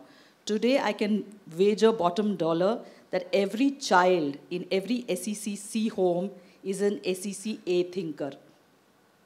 And they're aspiring to an SEC A lifestyle, not to an SEC C. So, in the same family, you have parents at a certain level and children progressing very rapidly on the back of technology and services into things which you would have thought they would have, which is why the cell phone jumpstart happened. you put it into the malls. So that changed the customer segment itself because it's like a relaxed mood that the people have, and the basket and all increase, they are ready to buy more. What about the online space? How do you set the same mood in online? And being you were with Myntra for some time, what are the best practices? Is it always okay to take whatever is there in offline to online, or is there any other set of best practices which we should do to set the same mood to change that customer segment to buy more in large baskets? So, so one of the things before I answer, give a direct answer, attempt a direct answer to your question is, look, online actually had a certain amount of edge over offline in this case, because online, if you remember one of the earliest ads of Myntra, it showed you know there are three friends dressed up in various hues of blue, sitting on their sofa in their home and kind of shopping from there. Online was always about convenience. It said you don't even have to you know get up from your sofa and you can shop from the convenience of your home where in that environment you are the most least defensive you're the most open and you're the most in, in your most expressive self because you're the king of your domain. You're sitting at in your domain you're the you, you, you're the person sitting in your home right? So we actually became far more sensitive to this thing after the advent of online. So what i'm saying is when we find when, when i was at myntra what we found was where the traffic was actually originating from. Like nirupama some time back said or like kalpana some time back said a lot of women after putting their uh, kids to sleep they were you know kind of adding things to their basket. Now what we found was men were a lot of men traffic was coming during weekdays when they were taking a coffee break right? And from desktops initially because most a lot of organizations did not have this you know uh, filters on proxy filters on not allowing you to go to myntra.com they only later on put that in place. A lot of people were surfing while they were sitting in your AC Volvo buses from their cell phone, right? And a lot of women were actually surfing from the convenience of their homes. So online never actually had to go ahead and try to enhance that ambience bit. It's actually the offline which has had to work very, very hard on it. Because there it's a physical world and it's a world that the brand is providing you rather than it's the world of your own choice where you're likely to be least defensive. So coming back to a direct answer to your question, online actually has to just sensitize you that you're in the most convenient environment and you're shopping like a king from there through an endless wardrobe that I am presenting to you, right? They don't really have to back, break their back in, tel- in creating an environment or creating a certain ambience for you. They just have to sensitize you and tell you, and that is what a lot of you know online buyers do, especially BigBasket.com and all of these grocery deliverers. That look, you are sitting at home, sitting pretty, making all of those judgments. I can show you infinite variety. Just click from there. It's convenience, and that's how. So online just needs to sensitize and play up on, of, on, on this particular aspect more and more. That's what my answer would be. Uh, may I ask you a question also? Uh, what was the reasoning behind uh, the app-only decision that went into Myntra? Uh, well, I'll be very candid. I was not there at that point in time, but I know the thinking So, there was. so here is my, uh, I don't know what the reasoning is, but I had actually discussed this in my class. Uh, I was teaching product management at that time, and my own prediction was that it would fail actually. Why? Because I actually related it to loss aversion. That you have the website, you have the convenience of the website. You might be checking out on the app or whatever, but then you actually go to the, and there might be a small number of people, even if not everybody, who are actually going to the website and finally buying the final purchase on a uh, on a laptop or a desktop or whatever, and classic loss aversion actually kicked in. That option is gone. So I, uh, so I know the uh, answer to that, right? I'll uh, keep away from some very gory details, let's say, right? But you know, one of the things was, uh, you know, the web analytics guys actually used to tell you, right, sitting there, that so many people are first going to Flipkart, then coming to Myntra or Jabong, and thereafter going to Myntra and Jabong, right? So one of the things that people looked at it, and uh, you know the decision makers looked at it, and then said that they are hopping from web, one website to another website, and I don't like it, right? So they said, what if I created a space which was far richer, but they could not hop so very easily from one place to another, right? This is the genesis of app only, yeah? And trust me, this was saying that I'll disrupt an understood consumer behavior and force them to do something else or force them to learn a new behavior. That's what my answer to Professor Prithvi, that look, some, it might have failed. You know, it actually also, uh, you know, failed to take into account that almost 60% of the traffic was originating from desktops at your workplaces and from a shared desktop location. And if you went app only, you're actually saying that look, the desktop traffic doesn't really matter. You know, a lot of a lot of statistics were glossed over and thrown around to justify that actually the whole world has moved to sell only, and hence app is justified. So just as an addition, uh, and this was this is just anecdotal. Maybe if somebody is working in the Flipkarts and Amazon, you can uh, test this. But a lot of people actually told me. So Amazon, for example, used to give app-only discounts. So if you buy something from the app, uh, you get a 30% discount, which you don't get on your uh, uh, desktop. So a lot of people told me that they went to the desktop, browsed everything, etc., etc., etc., made their final decision, but then they know that there's an app-only discount. So let's install the app, buy it for the 30% discount, and then forget about the app. And so this is a, this is only anecdotal, but a lot of people actually ended up telling me this. Yeah, I- we, do, we do a fair amount of work for Amazon. So um, if there is an install button on an app, there's also an uninstall button on the app. So that's the first rule because it starts eating into your space.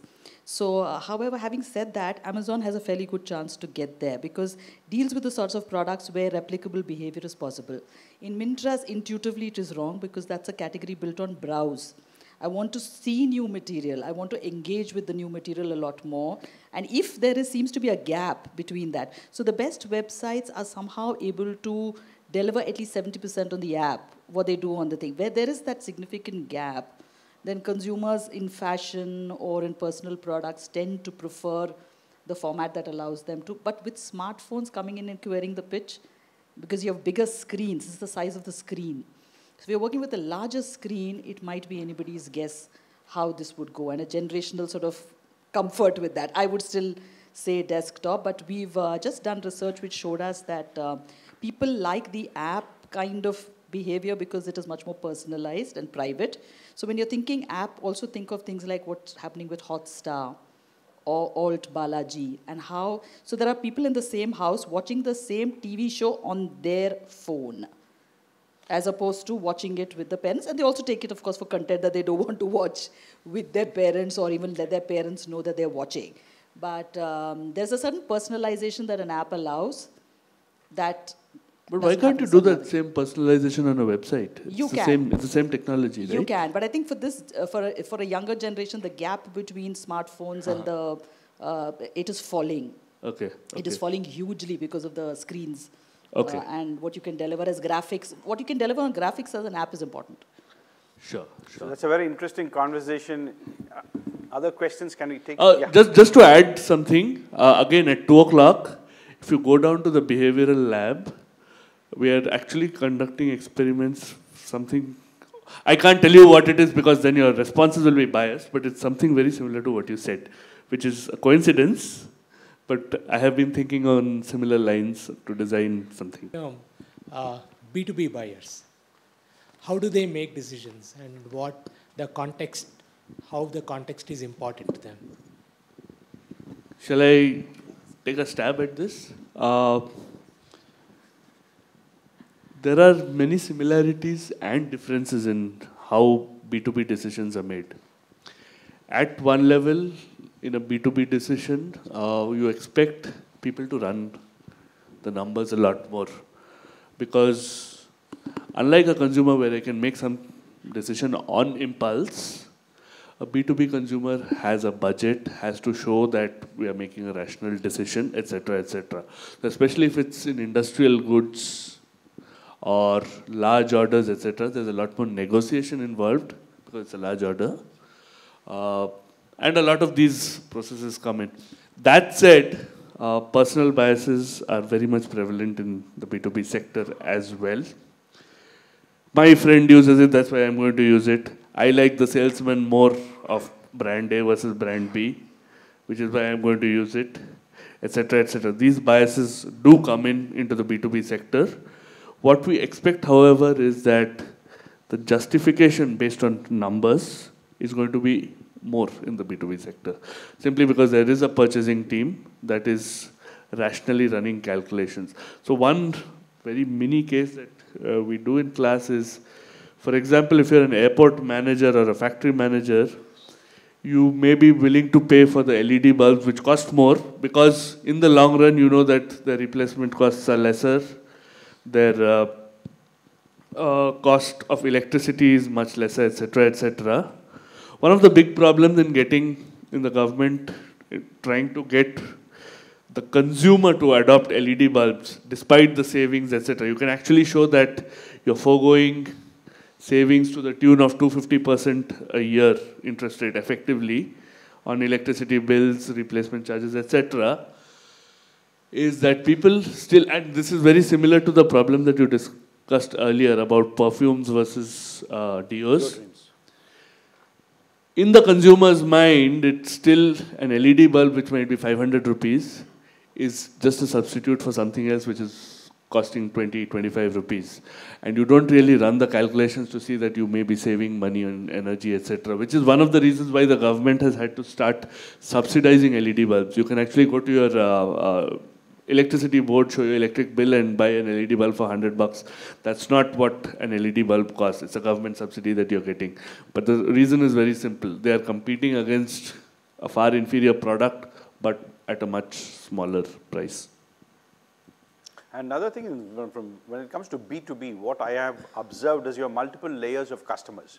So your communication, the value, the meaning of your product or services are very different for each of the stakeholders. So what you communicate to an end user is not the same communication in terms of perceived value to a CEO. So you will have to change your communication when you talk, when you talk or, or the messaging for the multiple layers. So that, that that's an observation.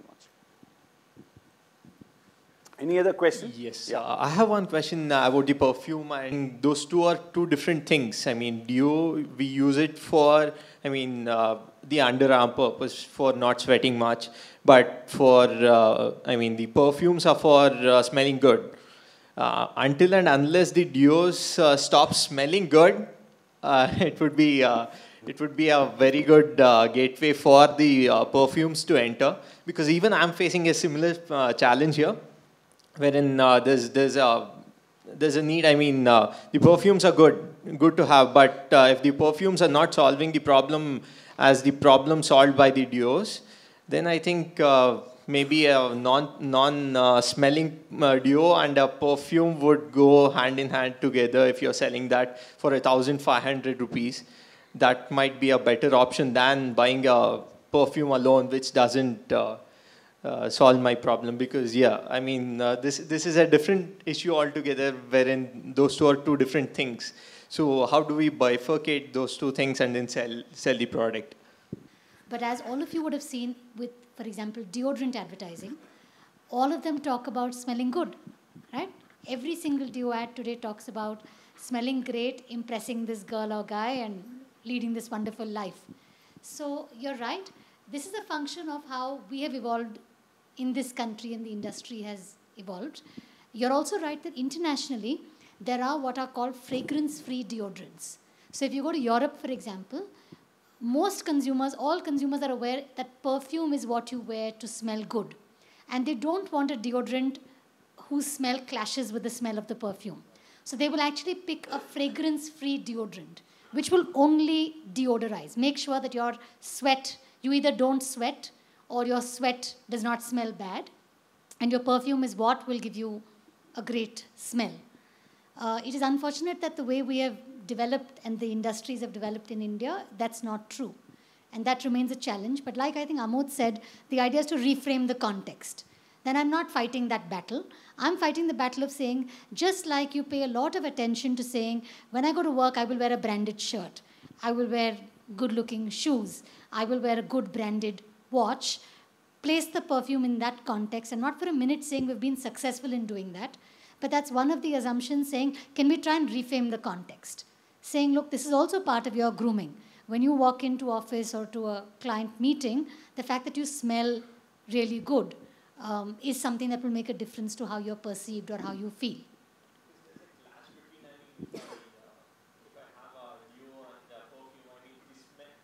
So yeah, I don't want to get technical because I was telling I was telling Partha I wanted to distribute samples, but I thought that would be too much of a hard sell.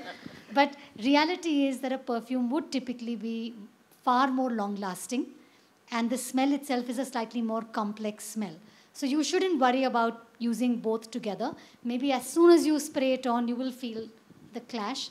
But over the next hour or two, you will be able to make out the difference between how you smell with a perfume. I hope this is good. Otherwise, I will, I will tell Partha to say we have no more time for questions. yes, please. And of course, you know, high-end perfumes, which is costing 25,000 rupees also, we sell. And uh, the Skinn uh, perfumes are faring well, I mean, in sales, just because uh, the people who are aspirant to buy the high-end perfumes and not cannot afford that, I mean, like, yes, there's a wants and needs difference. Ending up buying Skinn perfumes because you priced at a reasonable cost and the volume, you know, the sam sample size, I mean, the volume size, the ml content size is also equivalent to your pricing. So it's a win-win situation for Skinn perfumes is what I'm trying to share the feedback. Yes. That's a good news. That's good news for you. Possibly like Amod would have dealt with in, uh, uh, in branded clothing, you do need a market development angle. You do need to take on the education task if you're going to create a new category. So you can't walk away from that and let them, because otherwise what happens, people come to the solutions that they want to and they, they make those assumptions, the stereotype of that category. So some amount of education gives you the high moral ground on saying, did you know this is the right way to uh, pick and choose and so on. That's also building those associations, you know. the- Yes. Yeah, I think that's the point she's trying to make. And I think if I could just add one of the things we were discussing earlier, one of the things as a brand that we do um, a lot of is sampling. Because, you know, one of the things about education is if you're mentally close to it, just like the Amitabh Bachchan polio case, you may have years of education. But if I'm not mentally open to accept that messaging at that point in time, I may just completely disregard it. So I completely accept, yes, we should do a lot more market development work. But I think one of the other things that's worked very well for us is the actual product use. And that can be very disruptive. So no amount of what I say, advertise, scream from every single channel works as much as I just give you a small sample. Yeah? And I'm not going to tell you anything, but just your own experience with that product and category will itself just establish that, hey, I've never got a compliment for the way I smell when I've worn anything else. And how come today I walked back home from the airplane and someone said, What are you wearing? You're smelling very good. And that plants a seed of doubt saying, maybe this product is, is different. Yeah, Any, any other questions? Yes. Client of mine. Uh, Kalpana, you've uh, been handling Sonata watches, not Yes. Titan watches, Sonata. I mean, super fiber, going to the last, and then now you're selling almost, I mean, I would, I would call you a seller, technically, fragrance. What has been that transition? Have you learned anything from the Sonata experience to actually sell a very aspirational product like Skinn? I, I would, I'm very curious to hear that. Yeah, so it's a it's a big shift. But like in most cases, there are similarities because you know at the end of the day, a lot of consumer decision making remains the same. Um, it is as irrational as rational uh, at both ends. Perhaps one would argue that at the high end, it is more irrational than rational.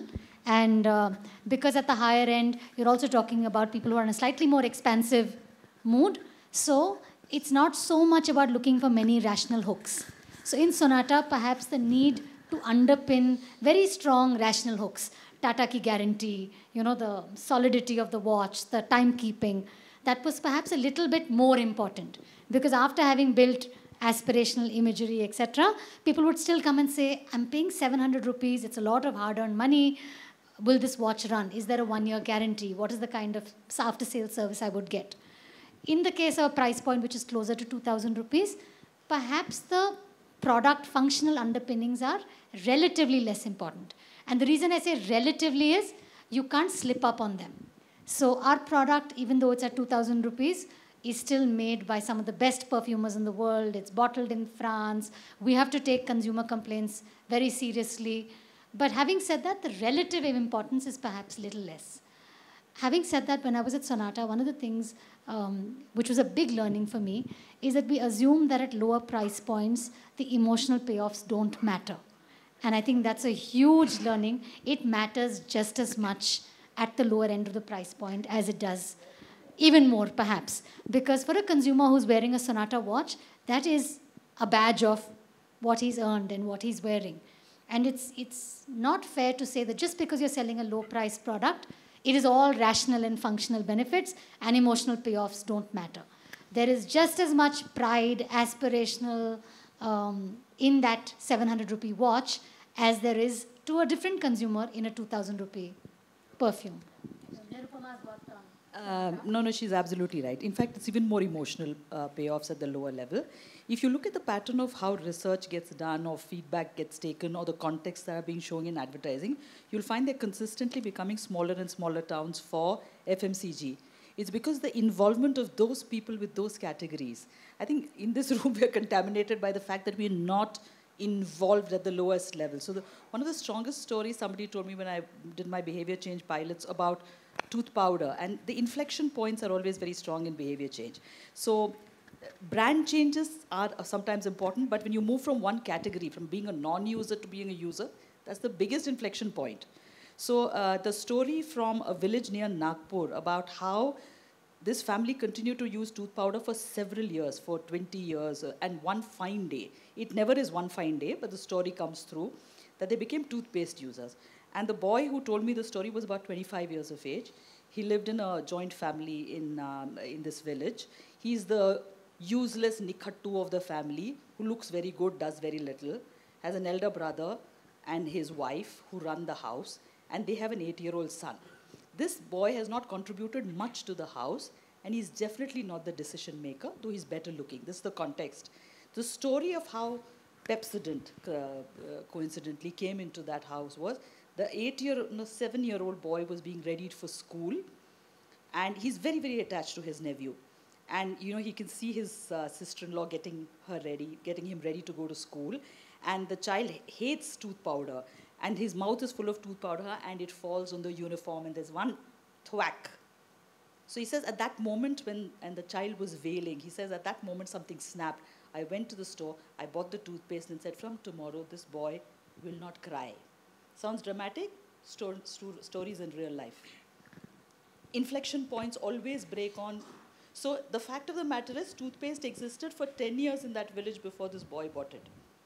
But that day it became a story of how toothpaste becomes part of my life and not uh, life in general. So all that changes from what I can see is, it's always emotional payoffs. Some categories as you evolve, you can work with your own internal payoff, locus of control being with you, saying, I am feeling good, I am looking good. In other categories, you still need to go with validation from the external world, saying, Am I looking good? Am I feeling good? Am I allowed to feel this way?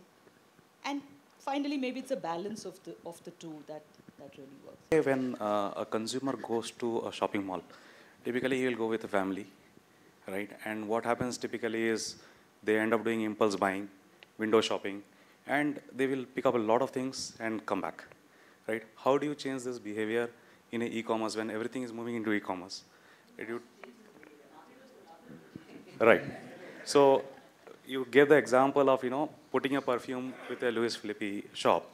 So how do you make those things happen in e-commerce when everything is going to move towards e-commerce? we need to understand that look a lot of because why ecom exists or why you know uh, people experiment with so many things is because there is a certain amount of fluidity which is not available to an offline world in an offline world you know me and kalpana might still be talking about why don't why don't you put your Skinn perfumes in my louis philippe suit store let's say right but in ecom you don't really need to put anything anywhere because it's just a matter of url it's just a matter of a remarketing ad popping up somewhere because you kept your cookies on and you visited, let's say, a perfume website, let's say, for that matter, right? The point is in e-com, there are other levers to work on because more important levers in e-com to work on is on conversion from your list page surfing to actually getting to your transaction baskets, right?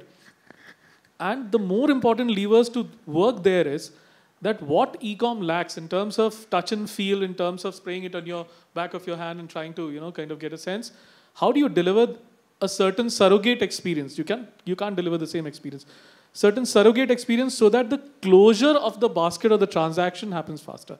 Ecom already has all the benefits of fluidly moving from one point to another point to another point. Today, Google search is pretty much giving you all the options of shopping right from the search page, for that matter. Some of the websites have allowed it, some of the websites don't really allow that, right? So in ecom, I don't really believe that this seamlessness needs to be built. I think in ecom, the experience that offline gives you to be able to touch and feel and hence accelerate your decision to transact finally is the lever that ecom actually needs. And there are various people who find various surrogate ways of doing it. For example, let's say there's a Pepperfry store in one store somewhere where it says that, look, you know, you can come to my store and experience this thing. Myntra opened a Roadster store on Indiranagar 100 feet road. That is just to complement or have a leg in an offline world where you can still experience before you make up your mind or where, you know, which helps you to accelerate your decision making. So I don't really think that's a typical doable for an e-com. It's already there. Sorry, just to add to this, uh, you know, the experience that you're talking about is a consum- consumer-oriented experience. I was just talking this morning, and I was thinking about how, when we were young and when we had children, uh, when we were children, our parents used to take us to the gardens, you know, a Cubbon Park or Lal Bagh or Hanging Gardens if you were in Bombay, because that was your weekend outing. Parents need to keep their children occupied and spend time with them on the weekend. And today the malls have replaced those things because, uh, you know, the weather is not good, there's traffic, there's pollution, an air-conditioned environment is nice. Now it's for the consumer to decide that I want to change that experience. So if the consumer decides instead of going out, I want to spend time with the family inside. So what are the things you do in a mall? E-commerce is only one part of it. You are not necessarily going there only to shop or to browse. You're going there to eat. You're going there to maybe watch a movie. The day you decide that you know I'm going to replace that whole experience with Netflix and Swiggy and uh, uh, then and my wife can browse on whatever e-commerce site she wants and we'll order our groceries from Big Basket. That day the behavior will change. But I don't think it's up to one brand or one manufacturer to be able to change that behavior. But from what I understand is that when you, uh, when you search for something in Google or on Amazon, uh, that data is fed back onto the computer. So when you're going into your other sites, if sometimes it happens even if you made the purchase. So, you know, you may have already bought that book, but that book is showing up when you go to the other thing. But it's an algorithm. So, and a lot of sites are getting very good at that. I don't know if, you know, if you're on Amazon, you'll find that every time you go to the Amazon website or the app, they'll recommend products to you. It's all based on your purchase history through algorithms and through uh, the code. Thank you. A lot of questions around e-commerce, yeah. So probably it's my assumption. So I thought, uh, uh, is there any recency effect? I mean, because of yesterday's Ganesha festival, is there the reason for quoting higher price for the Ganesha statue? Uh, is the emotional impact in decision making? I did this experiment on the PGPs and I showed you the results, right? It's very similar, except I would say, yeah, in both cases the means are a little higher here. That could be because of uh, the recency effect. Essentially, what I'm not interested is if overall they are higher. What I'm interested in is actually the difference between the two groups. The fact that I've suggested a low anchor and got a lower mean, and the fact that I've suggested a high anchor and got the higher mean, kind of validating the theory that you can be anchored into quoting different prices. Uh, again, so that that's what I am what I was trying to illustrate through this experiment. And again, so there are other uh, situations which we didn't really discuss. If you are negotiating a deal, including in court for bail, for damages, in the US you have uh, things like uh, uh, what do you say, class action suits where millions of dollars are being negotiated. These anchors play a very important role again.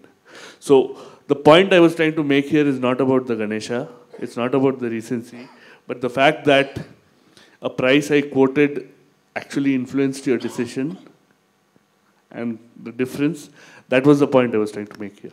Here, there's an observation I'd like to share because I think the point that we're making is customers to buy things without even thinking. You know, it's an autonomous kind of a, a purchase behavior. The, the, reinforcement and habit, that is what I want people to do. So for that, I need to install very strong beliefs that is, that is in favor of, you know, uh, that, is in, that will incline someone to purchase my offering. So the belief systems, interestingly, has an impact on emotions, very strong impact on emotions when you have a strong belief.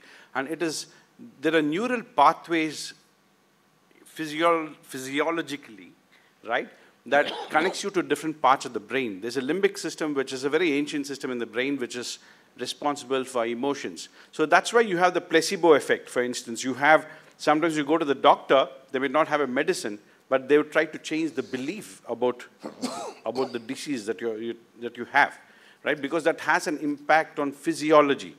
And any belief, installed belief, would actually result in an automatic um, purchase behavior. It's, it's, you don't have to think about it. It's not a rational thinking behavior.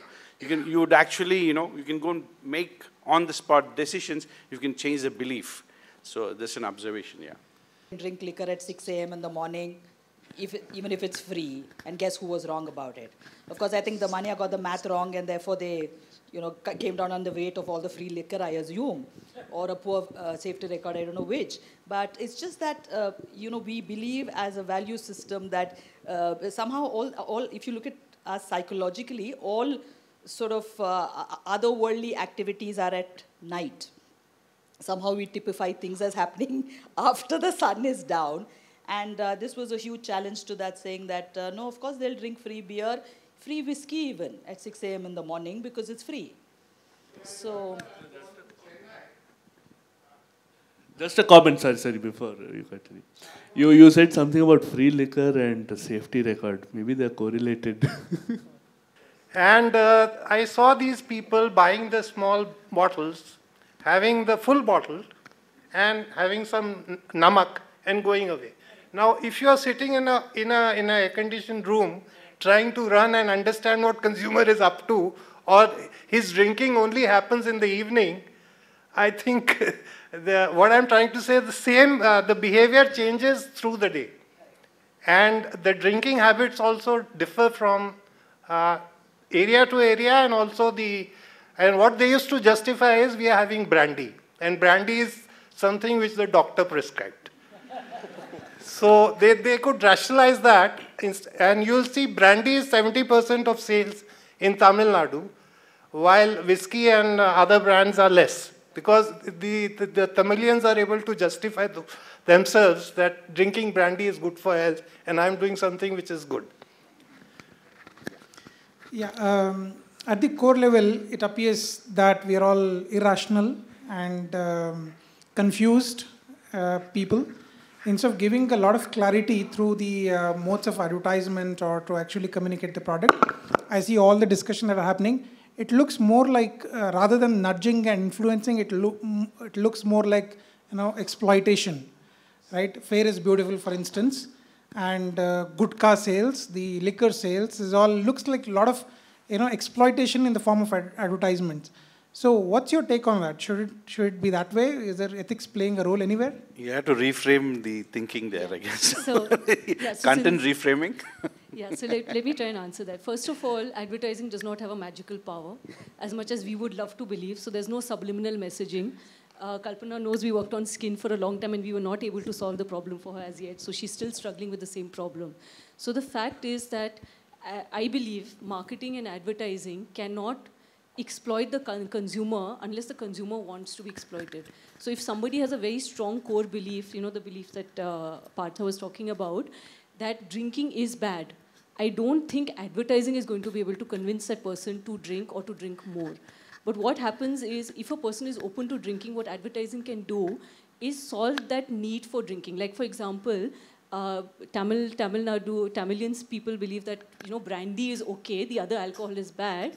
So brandy brand can probably play that role for them in terms of saying that when you want to drink, this is what you should drink. But I don't think advertising can create that. Even I worked on Fair and Lovely, and, and to be honest, when I worked on it, I was very uncomfortable because I felt that that was a brand that was exploiting, uh, uh, you know, racist prejudices. And I, I, had to, I had to eat cake because I really realized I was wrong.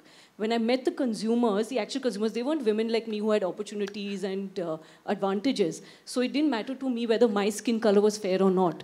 But to them, it really mattered because without that skin color, without their perception of beauty, it's not even skin color they if they didn't feel beautiful and people didn't think of them as beautiful they felt invisible. They felt they were ignored. They felt they didn't have opportunities. And it's again a consumer belief. Does fair and lovely actually change the color of the skin? Probably not. Only in a lab and it's like a it's a very tiny shade difference which you can't make out in real life. But again the placebo effect plays a part. You know we, we've had letters from consumers who've shown us pictures where literally it's like you know it's a huge difference that's happened. But actually the product can't deliver that difference so it is the placebo effect. It is the consumer wanting it so badly that she stay when she's using Fair and Lovely. Maybe she's using it two or three times a day. Maybe she's staying out of the sun. Maybe she's covering her skin. She's doing other things to protect her skin from tanning. or hmm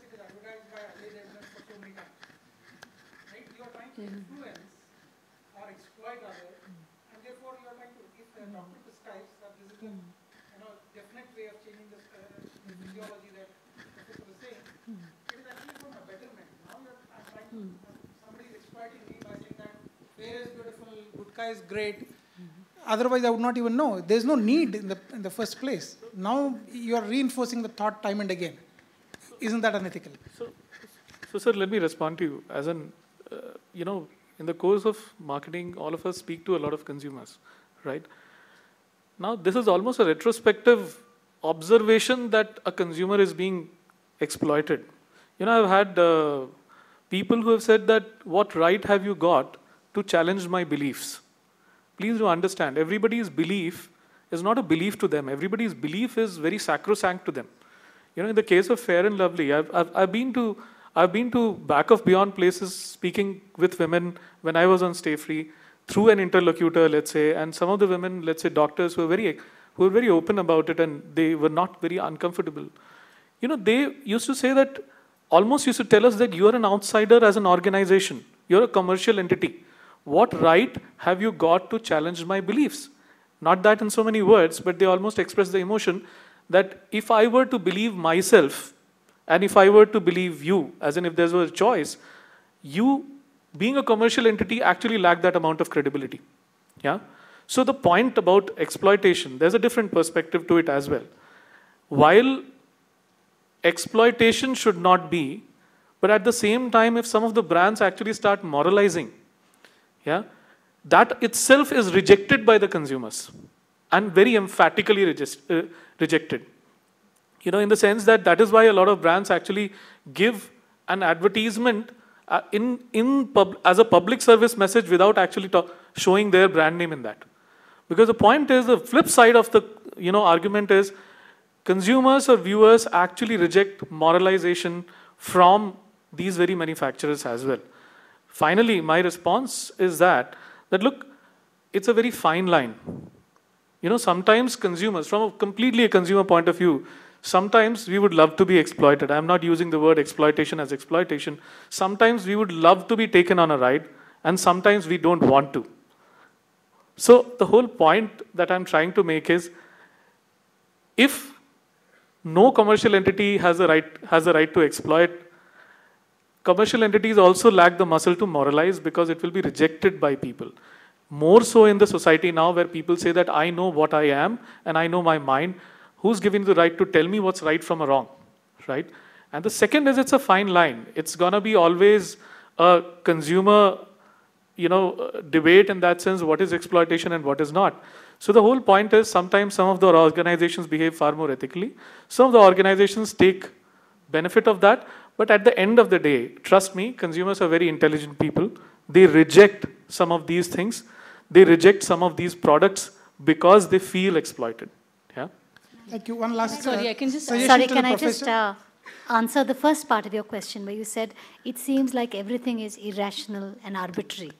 I'd just like to come back saying I don't think what we were trying to say is it's irrational. There may not be a rational, uh, tangible explanation to what the consumer does. But believe me, every single consumer is making the decision because the decision that they're making is giving him or her some payoff. That payoff may be very difficult to define in rational monetary terms. But at the end of the day, even if it's an emotional payoff, so for example, I've bought this kurta, I think it's overpriced, but the feeling of happiness that I get when I wear it is genuine. And it is very, very rational in my mind that I have paid this sum of money to buy this kurta. You get what I'm saying? So, to an external person who's trying to rationalize it in terms of saying, but why did you buy it? Why did you buy this color? And why did you buy, pay 2,000 rupees for it? It may seem like answers that the consumer is not able to clearly specify. But please be under no misconception that the consumer is doing things completely randomly and without any thought. There is a very, very clear payoff that I get. I may not be able to articulate it. I may not be able to justify it in terms that you will understand, but there is a clear emotional payoff. There is a feeling that I get. There is a certain aspiration it fulfills. There is perhaps some kind of deep need or desire inside me that it fulfills. But it is clearly very rational. Otherwise, why would I go and spend money for it? Yeah? Basically, mar- basically, marketers are not exploiting. They are to tap into facilitating the decision-making process of the customer.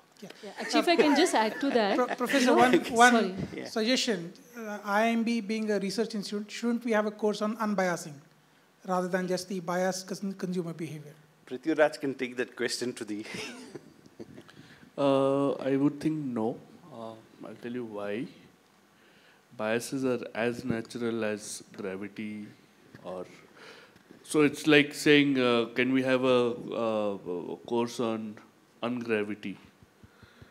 We are still going to fall down, whatever you're going to do.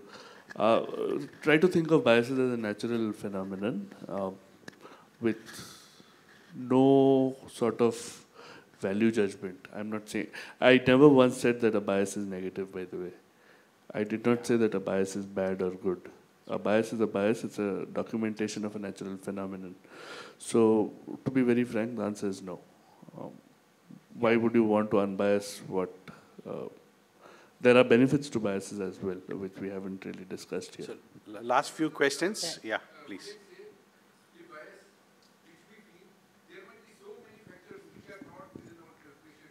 Definitely. Yeah. Yeah. Yeah. There might be. There, there definitely is. It might be our sixth sense might be right, for all you know. Yeah, yeah. Many times Yeah. what we say intuition, it has a calculation and it has Fair got a big background. Absolutely. Which may not be visible in general. Absolutely. In fact, in fact, the theory that uh, uh, Prithwiraj was uh, referring to about intuition Intuition is actually, there's nothing called intuition is what one of uh, uh, Kahneman's uh, theories, it's basically, intuition is recognition. You recognize something, you know, but the recognition is based on certain things that you can't really articulate in words. So uh, let me just rephrase what I said a little bit. There are some biases which are unambiguously bad. Racism, for example, as a bias is unambiguously bad. Would you want to debias somebody from racism? Definitely.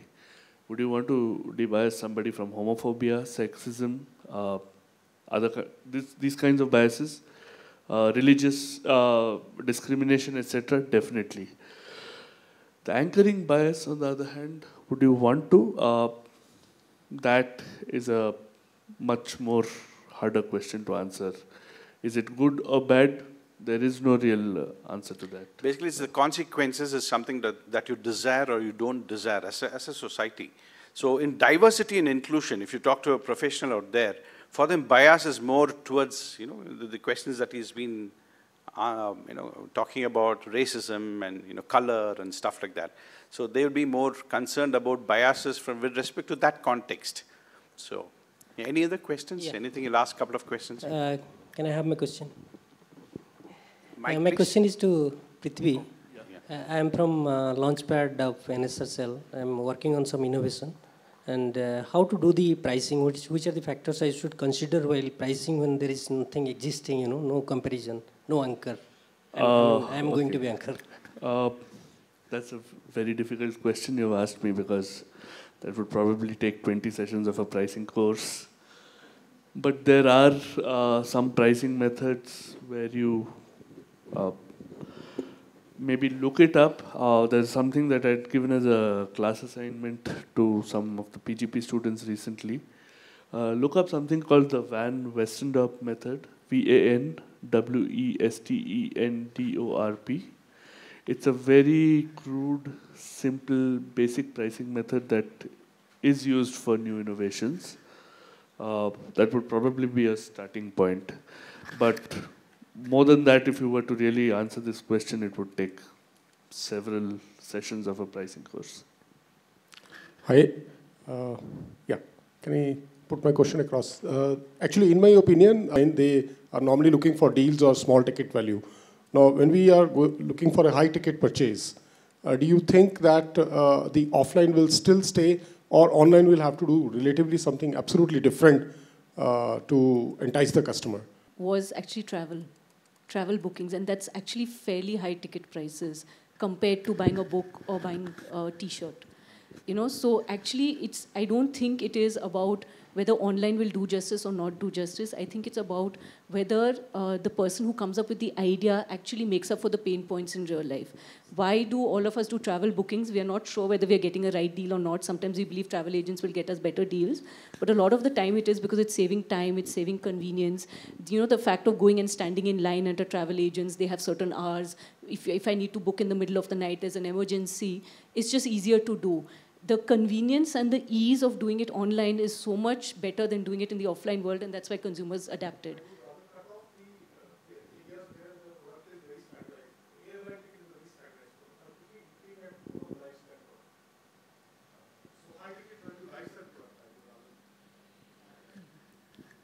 I don't know if you're talking about uh, not necessarily lifestyle, but for example, uh, and, and it's true, it's difficult to teach the behavior of that kind of product online, but there are exceptions. For example, I think there's a uh, the OnePlus series of cell phones.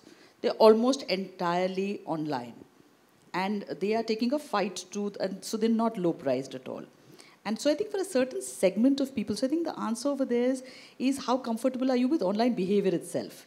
So if you were to put this uh, question to somebody who's 20 years of age, they won't see the gap as much as we see the gap. So it's a socialization pattern that we have more than um, others. Yeah.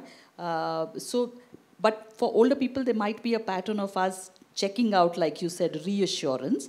So currently, what uh, what what a lot of marketers are dealing with is actually seeing this combination of points. They call consumer journeys, and they are offline, online points. And unlike what we believe, it's not always that I have to search in the offline world and buy in the online world or the other way around. Depending on category, uh, depending on market, those can change and the intervention points can fall. Increasingly, I think high value products are being bought online with what level of comfort is really uh, behavior. It's about the comfort with technology. And as that sort, sort of starts collapsing, uh, uh, you can possibly uh, you know, see a lot more change in that than today. Again, for healthcare marketing, I think it, the same rules apply. It depends on the consumer and learning what the consumer is looking for. I think it would be a combination of all three. I don't think anything would be uh, sacrosanct. Uh, with it, it, depends on what kind of a healthcare brand. For example, if it's a hospital, uh, you know, for hospitals, people expect a certain amount of facility, a certain amount of uh, uh, availability of doctors, a certain reputation. But at the same time, uh, you know, is it close to my house? Uh, influencers are very, very important. You know, somebody's had a good experience with a, uh, with a doctor or a hospital, then I want to go to that person. So again, it's, it's, you, you have to see who is your target consumer. You have to go and see what is their behavior with the category, what are their pain points, what are the payoffs they're looking for, and then design your marketing accordingly. It is a consumer FMCG health product. So for an, yeah, so similar for an FMCG health product, for example, if it's an over-the-counter medicine, I need to know who are the consumers who are buying it, why are they buying it, is it being bought on prescription, is it being bought for something else, what is the payoff they're expecting?